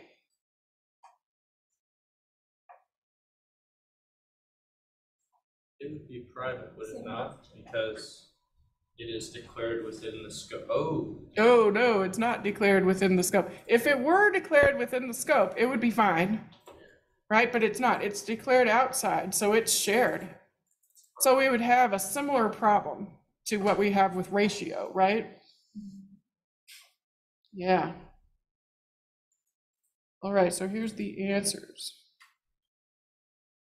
Okay, so, um, yeah, ratio and K are our problem children here. Um, so our compiler might actually optimize out K. Um, so we, we could be all right there. Um, but ratio, it's never gonna get optimized out, so that's gonna always lead to errors. And if we schedule our loop differently, we'll get different answers. And then also if we just have one thread that's just a little bit slower today than it was yesterday, then we'll get different answers too. So, uh, yeah. That's the problem here. Okay, so this is what we would really want to do. If we really declared those variables outside, then we want to put, we want to explicitly say what is private and what is shared. And you see how I have default none there? That means like, if I missed a variable in my listing here of the private and the shared, then the compiler would come back for me and be, and say, hey, what's going on here? Like, why did you miss that? And it looks like I actually did miss one, so I missed I. So the compiler would complain at me. Oh, Why would J be, I thought we said J was fine before. we did, we, it, and it is fine, it is fine. This is just, um, just for safety and just for, you know, good practice. So that, so that there's no unexpected things that happen. But yes, it would be fine. Okay, and if you look at my original one that I wrote way back here, oh, wait. Where was it? There. I didn't define any of the variables outside. I defined them all. So like here, ratio was defined within the lexical scope of the parallel pragma. Um, so then it's fine, right? It's safe. And also J and K are also defined within. So anyways, everything's fine in that. Okay, so good job, everybody, finding the mistakes. Okay, yeah, and like I said, if we set default to none, then our compiler will catch any variables that aren't explicitly scoped. So yeah, it's gonna catch I because I didn't put I in here, now that I'm looking at it. Oh, well. All right, let's talk about runtime library routines and environment variables. So, um, at the very beginning, we actually saw one of these when I did the hello world, right? Uh, so, but there's OMP get num threads, that's the second one on there, or no, get thread num is the third one, that's what we saw. Um, and that is the rank of the thread. And so, uh, OpenMP also counts, counts like C and, and like, um, people from the UK on the building levels. And, um, it, so it goes from zero to, uh, number of threads minus one. So, um, OMP get num threads, that's like M- MPI, um, size. Uh, and then OMP set num threads, you can do this within your code. I don't recommend it, but you can set the number of threads that you're going to use in the next parallel region. But you have to call it from the serial portion of your code before you get into a parallel region. What happens if you don't set it? The processor just figures out It's just, so it'll, um, so that's where I'm going here. Um, so OMP num threads. This is a, an environment variable that you set when you run your code, before you run your code, like you put it in your script. And it sets the number of threads, so it'll pick up on that, and if that's not defined, then it'll just go with one. Okay. And then there's another um, environment variable called OMP schedule, and that determines how the iterations of your loop is scheduled. So you can just set it to be dynamic or whatever if you don't want to go with whatever the default is. Okay, so using OpenMP, you remember I talked about how you can write a single source code for use with or without OpenMP, and your compiler can just kind of ignore the pragmas? Um, so that works, but like, what about the runtime library routines? Well, you know, there's a macro called underscore OpenMP, and it's defined if OpenMP is available. So you can use this to conditionally include the omp.h header file or redefine runtime library routines if you're not including that. Okay, so here's an example. So if if there's OpenMP available, if we're going to use OpenMP, then we're just going to include omp.h. Otherwise, we're going to define this thing, just set it to be zero. Okay, and then when it when I come down here and I want to get my thread number, then it just assigns zero in that case, or it assigns whatever my real thread is based on the OpenMP header files. Okay, uh, and then there are some, um, I, I would say I, I should probably change this from most compilers to like all compilers support OpenMP. Um, and you can enable OpenMP using compiler flags. Um, and I realize actually that the Cray one, um, that's old. I think now they use F OpenMP just like everyone else. C is um, def op- dash F OpenMP. Fortran is dash H OMP. Okay, all right. Well, good. So it is still sort of up to date. Thank you, Helen. Okay, so um, if you're going to run a program with OpenMP directives, oh, I put Cori out here. I didn't update to Perlmutter, but it still applies.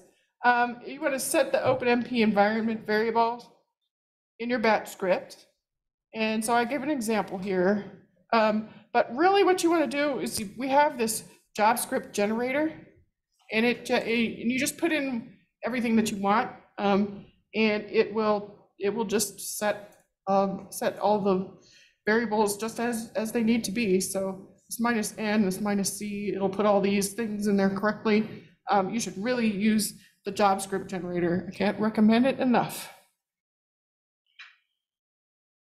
Okay, so if we were doing the exercises, we would now compute pi with OpenMP. And um, the way we would do that is we would uh, we would use the reduce operator, right? The reduction. So uh, you can see those answers in the in the uh, in the Git um, that you cloned. Okay.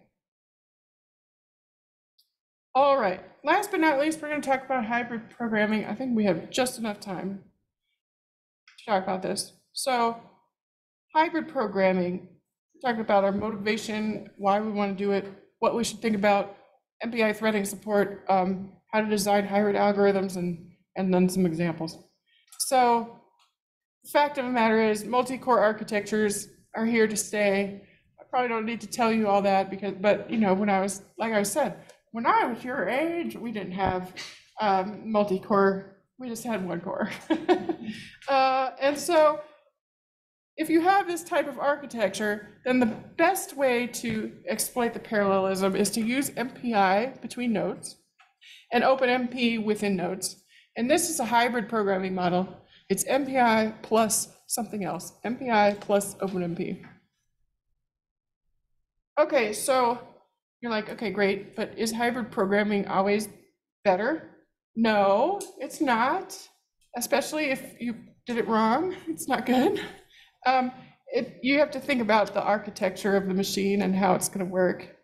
Um, so you think of think of this like an accelerator.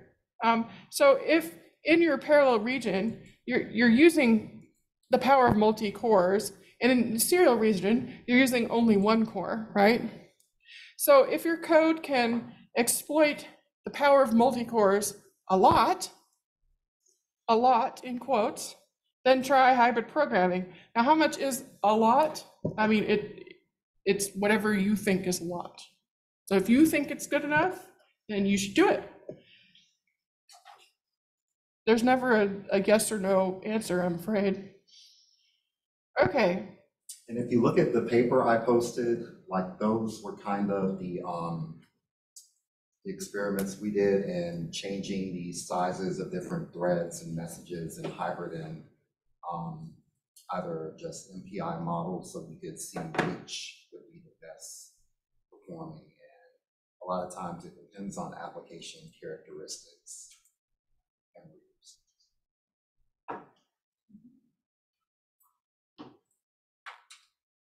12 years later, still the same problem. Yeah, yeah. Exactly. Okay, so here are some things to think about. And again, they're, they're not going to qualify or disqualify you from doing hybrid programming. They're just things to think about. So are communication and computation discrete phases of your algorithm? There's actually quite a few algorithms where that's true. You, you do a bunch of computations, then you do communications, then you do computations, then communications. Um, can you or do, or is it already true that um, communication and computation can overlap one another? You know, it's just something to think about. Um, and then how do you want to communicate between threads? So do you want to communicate only outside of parallel regions, or do you want to have like a manager thread that's responsible for communicating with threads on other uh, other MPI processes? Um, or do you want to have some of your threads performing inter-process communications, or do you want to just have like a Wild West free-for-all and let everybody communicate with everybody? So you just got to think about how you want to do it. You know, there's no right or wrong. There may be some things that are more right or more wrong, but there's no truly right or wrong to any of these. Okay, so MPI, the MPI 2 standard and above, um, defines four threading support levels. So the zeroth one, because we're thinking in C mode, uh, is MPI thread single, where only one thread is allowed. Okay, the second one, or the, well, the first, number one, is MPI thread funneled, where um, the master thread is the only thread permitted to make MPI calls. And then there's serialized, that's number two, where all threads can make MPI calls, but only one at a time.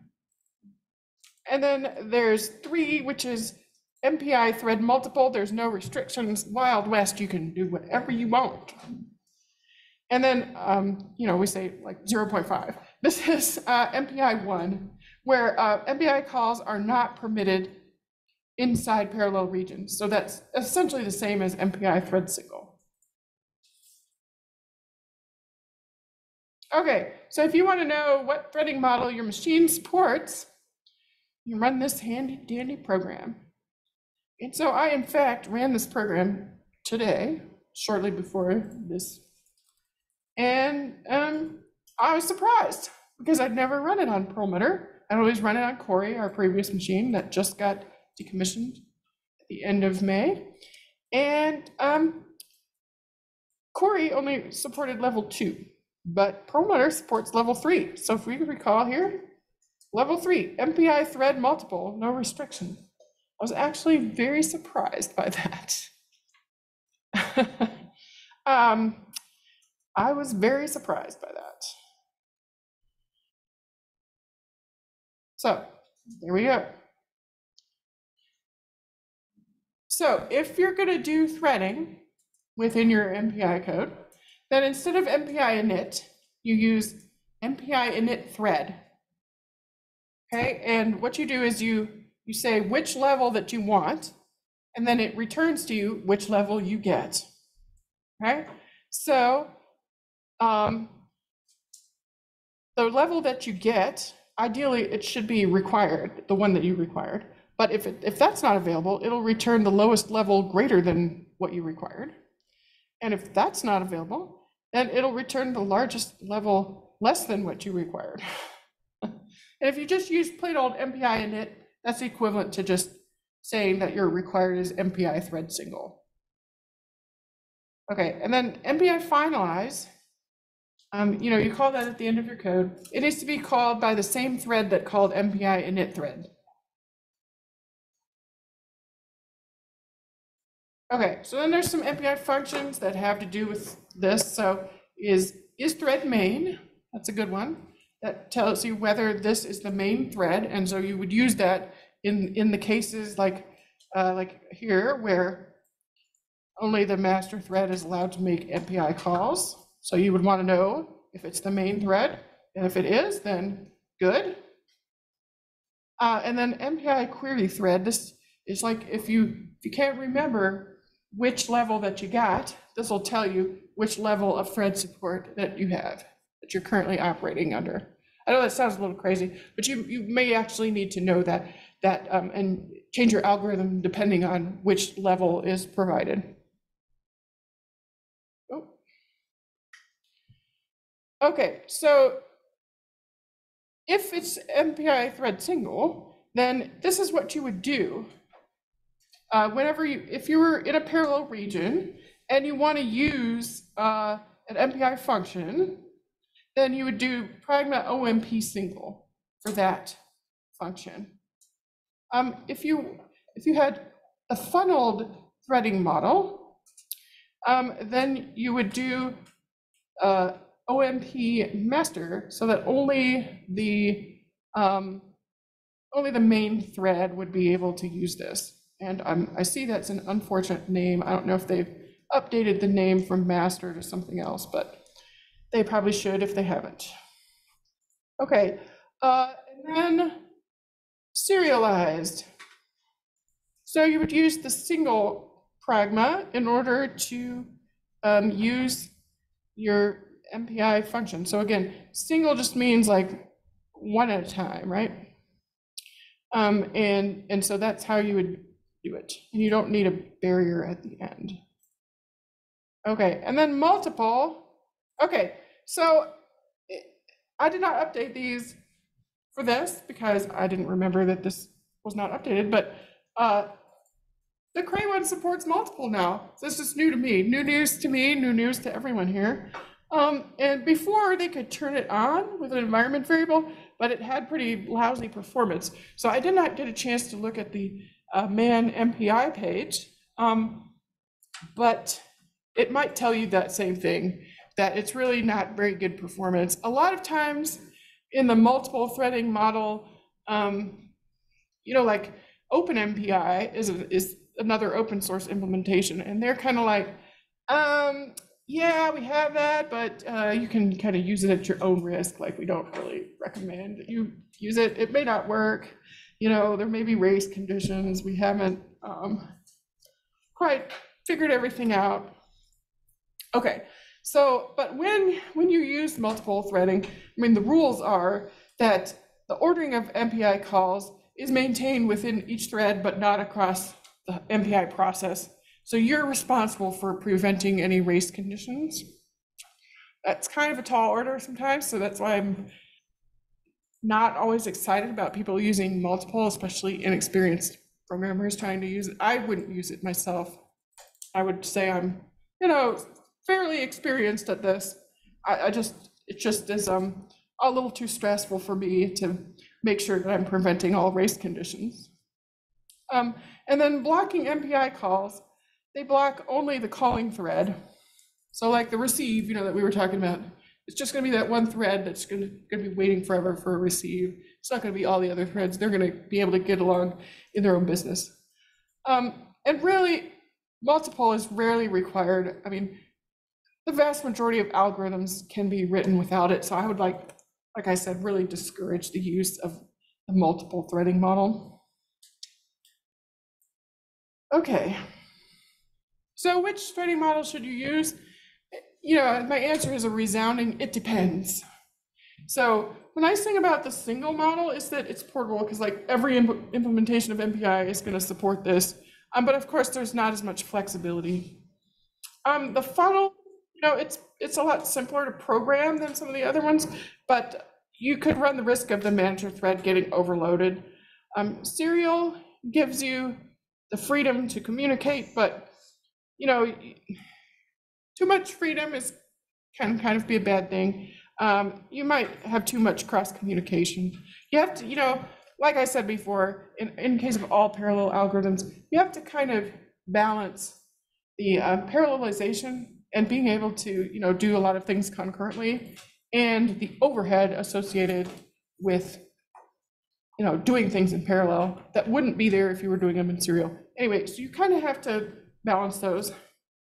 Um, and then multiple, you know, in theory, it's completely thread safe. In practice, I'm not so sure. Um, and it, it can have kind of suboptimal performance when you use multiple. Uh, At least that's what the implementations say. I mean, it's not just me ragging on them, it's the truth. They say that they have suboptimal performance when you use multiple a lot of times. Okay, so I just want to keep this in mind. This is kind of like, this is my mom moment for you all. Um, just because you can communicate thread to thread doesn't mean that you should. Kind of like, you know, when your mom's like, if all your friends were jumping off a bridge, would you do it too? You know, it's like, just because you can doesn't mean that it's a good idea. Um, so there's kind of a trade-off between lumping messages together and sending individual messages. So when you lump messages together, yeah, you have a big message that you have to send, and but it has like one overhead. It has the overhead of sending that one message. Versus if you're sending individual messages, you know, there's overhead to each of them, so there's more latency total that's happening there. Um, but you may have less wait time if you think about it. Like if I'm waiting to send a message and I'm waiting for you to get ready to send your message, and I have to wait for you to send your message so that I can send mine, maybe if I'd just sent mine and gotten a res- response back, maybe that would have been faster. Who knows? Um, and then another another challenge with hybrid algorithms is programmability. So I, you know, I've written my share of these algorithms and, you know, the performance is just going to be great when I get it working, right? There's just one more bug that I just need to fix. That's all. And then after that, it's going to work great. So anyway, you just got to think about all these things when you're trying to design a, a rather complex algorithm. Okay, so I'll give you some examples.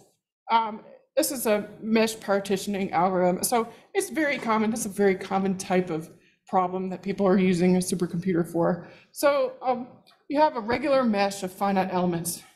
And so you partition the mesh into chunks, and each of the processes gets a chunk, right?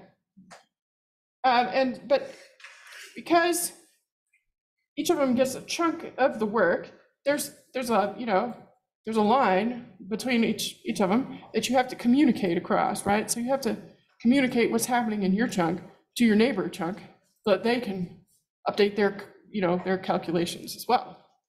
So you have to communicate information about domain adjacent cells to computationally remote neighbors. So if we have a mesh, I mean, I'm just making a simple example here, and we divide it into four parts, right? So we've got, uh, this, is, this is our MPI processes. So our process zero has the red part, process one has the yellow. You, you can see where I'm going there. And then each of them, I'm gonna give them four threads also, just for the sake of simplicity. So, you know, thread zero is really responsible for just this corner. Thread one is responsible for this on processor zero. And then processor one has its own thread zero that's responsible for this yellow. Anyway, I hope that all kind of makes sense, how that works out. So then I need to communicate, right, across these borders, like from processor zero to processor one. So here's kind of the thing, right, like that if I, if I communicate everything in bulk here, like that's this purple that represents the, the bulk communications of what I have to communicate. Um, or I could do kind of these little green communications, right? So you can see this is like one big message that I'm sending across. And then these are like some small messages. If I'm, you know, it, it, it depends on how I decide to do it, right? If I'm, if I'm in this, um, you know, Wild West free for all where this thread can send to that thread, then you can see I'm sending all these messages that I, that, um, in the other ways, I'm only sending one message each. So, I mean, it seems to me like this is a little bit easier paradigm, you know, just send these purple messages. instead of trying to send these green messages and make sure that they get to the right place. If you wanna communicate like pink to orange, like T three P zero to T three P one. Uh, like what is that big message really communicating? Is it communicating all of the information in P zero or? Yeah, it's, so it would be communicating, yeah, all, like all the information from T zero, T one, T two, and T three, and it's just gonna all go to P one. Yeah. Whereas if I'm, like, from, from T three here, I gotta communicate with this little piece here and this little piece here. Right, so I'm sending, or well, T two is a, a better example because it's not on the edge. T two, I'm sending three distinct messages about what's going on with me. So, I mean, you can do it, you know, I'm not saying you can't do it. It's just different ways to think about it and what would be best for your particular algorithm. And to me, simplicity is best, honestly. Okay, so if we were doing our exercises, then we would put it all together and we would write a code with MPI and OpenMP in it all together. And then we would say, yay, and we would celebrate. Instead, we can just celebrate another way. So let me just tell you about a few resources for OpenMP. So if you are interested in OpenMP, uh, may I recommend this book? I have an autographed copy of this first book, because look who wrote it, Helen. Yay, Helen. Yes, so it's a great book. Uh, it's it's um, used in classes. It has actually been translated into Chinese and it's used in, in China as well for OpenMP classes. So amazing, amazing. Um, and then there's some other good books like um, that are on OpenMP as well. Um, and there's a really good OpenMP tutorial at Lawrence Livermore. Um, and yeah, this one is, I think this is, I don't know if it's still up anymore. I should look to make sure, but this is where I got the tip about doing it, doing the algorithm backwards. And then that's how you know that it's parallelizable. Okay, and then, um, yep, this is a good course. I remember looking at that. OpenMP.org, that is where they have the OpenMP standard. So no offense to Helen, but this is another one where if you need a little light reading because you're you having insomnia, you know, just look this one right on up and you can sleep very well. No offense, Helen. And yeah, and then hybrid programming, there's a lot of good resources about that. Um, and that's it. So that's really all I have. Oh, it's 4:53 is the official time. So It says 4:56. Um, so if you're interested in about how to compute pi, I can tell you about that. Uh, Don't use the method of darts. Um, look it up or use the BBP formula. Uh, and then, of course, your programming language probably has a constant. Um, random numbers, I told you we used a linear congruential generator. That's a terrible way to produce pseudo-random numbers. Um, because, okay, so there's these properties of a good pseudo-random number generator. So first of all, they have a very long period. They're uniformly distributed, the numbers. Uh, it's reproducible and it's quick and easy to compute. So um, our generator has a very short period. It's not uniformly distributed. It's known to have correlations, but it is reproducible and it's quick and easy to compute. So it's like two out of four. It's not bad. Um, there's a related linear congruential generator called Randu. Should look it up on Wikipedia. It's very entertaining. Um, Randu was um, used for modeling our nuclear stockpile. So I know we're all feeling really safe now after me telling you that. But this is a graph of, um, I guess it was triples of Randu. So triple, you know, like three numbers in the sequence, then the next three numbers in the sequence. And um, you can see it's these planes. Yeah, so that's not very good. That shows a pretty bad correlation. So don't use a uh, linear congruential generator. They're actually pretty lousy. All right, if you really want to use one, Mersenne Twister is kind of the best one out there from what I understand. The GNU Scientific Library has Mersenne twister. Um, the Intel MKL has the Mersenne twister. And then SPRNG is the leading parallel pseudo-random number generator that uh, you can also use. So there we have it. Uh, does anybody have any questions? I really appreciate everybody sticking around who did stick around and, um, yeah. Let me know.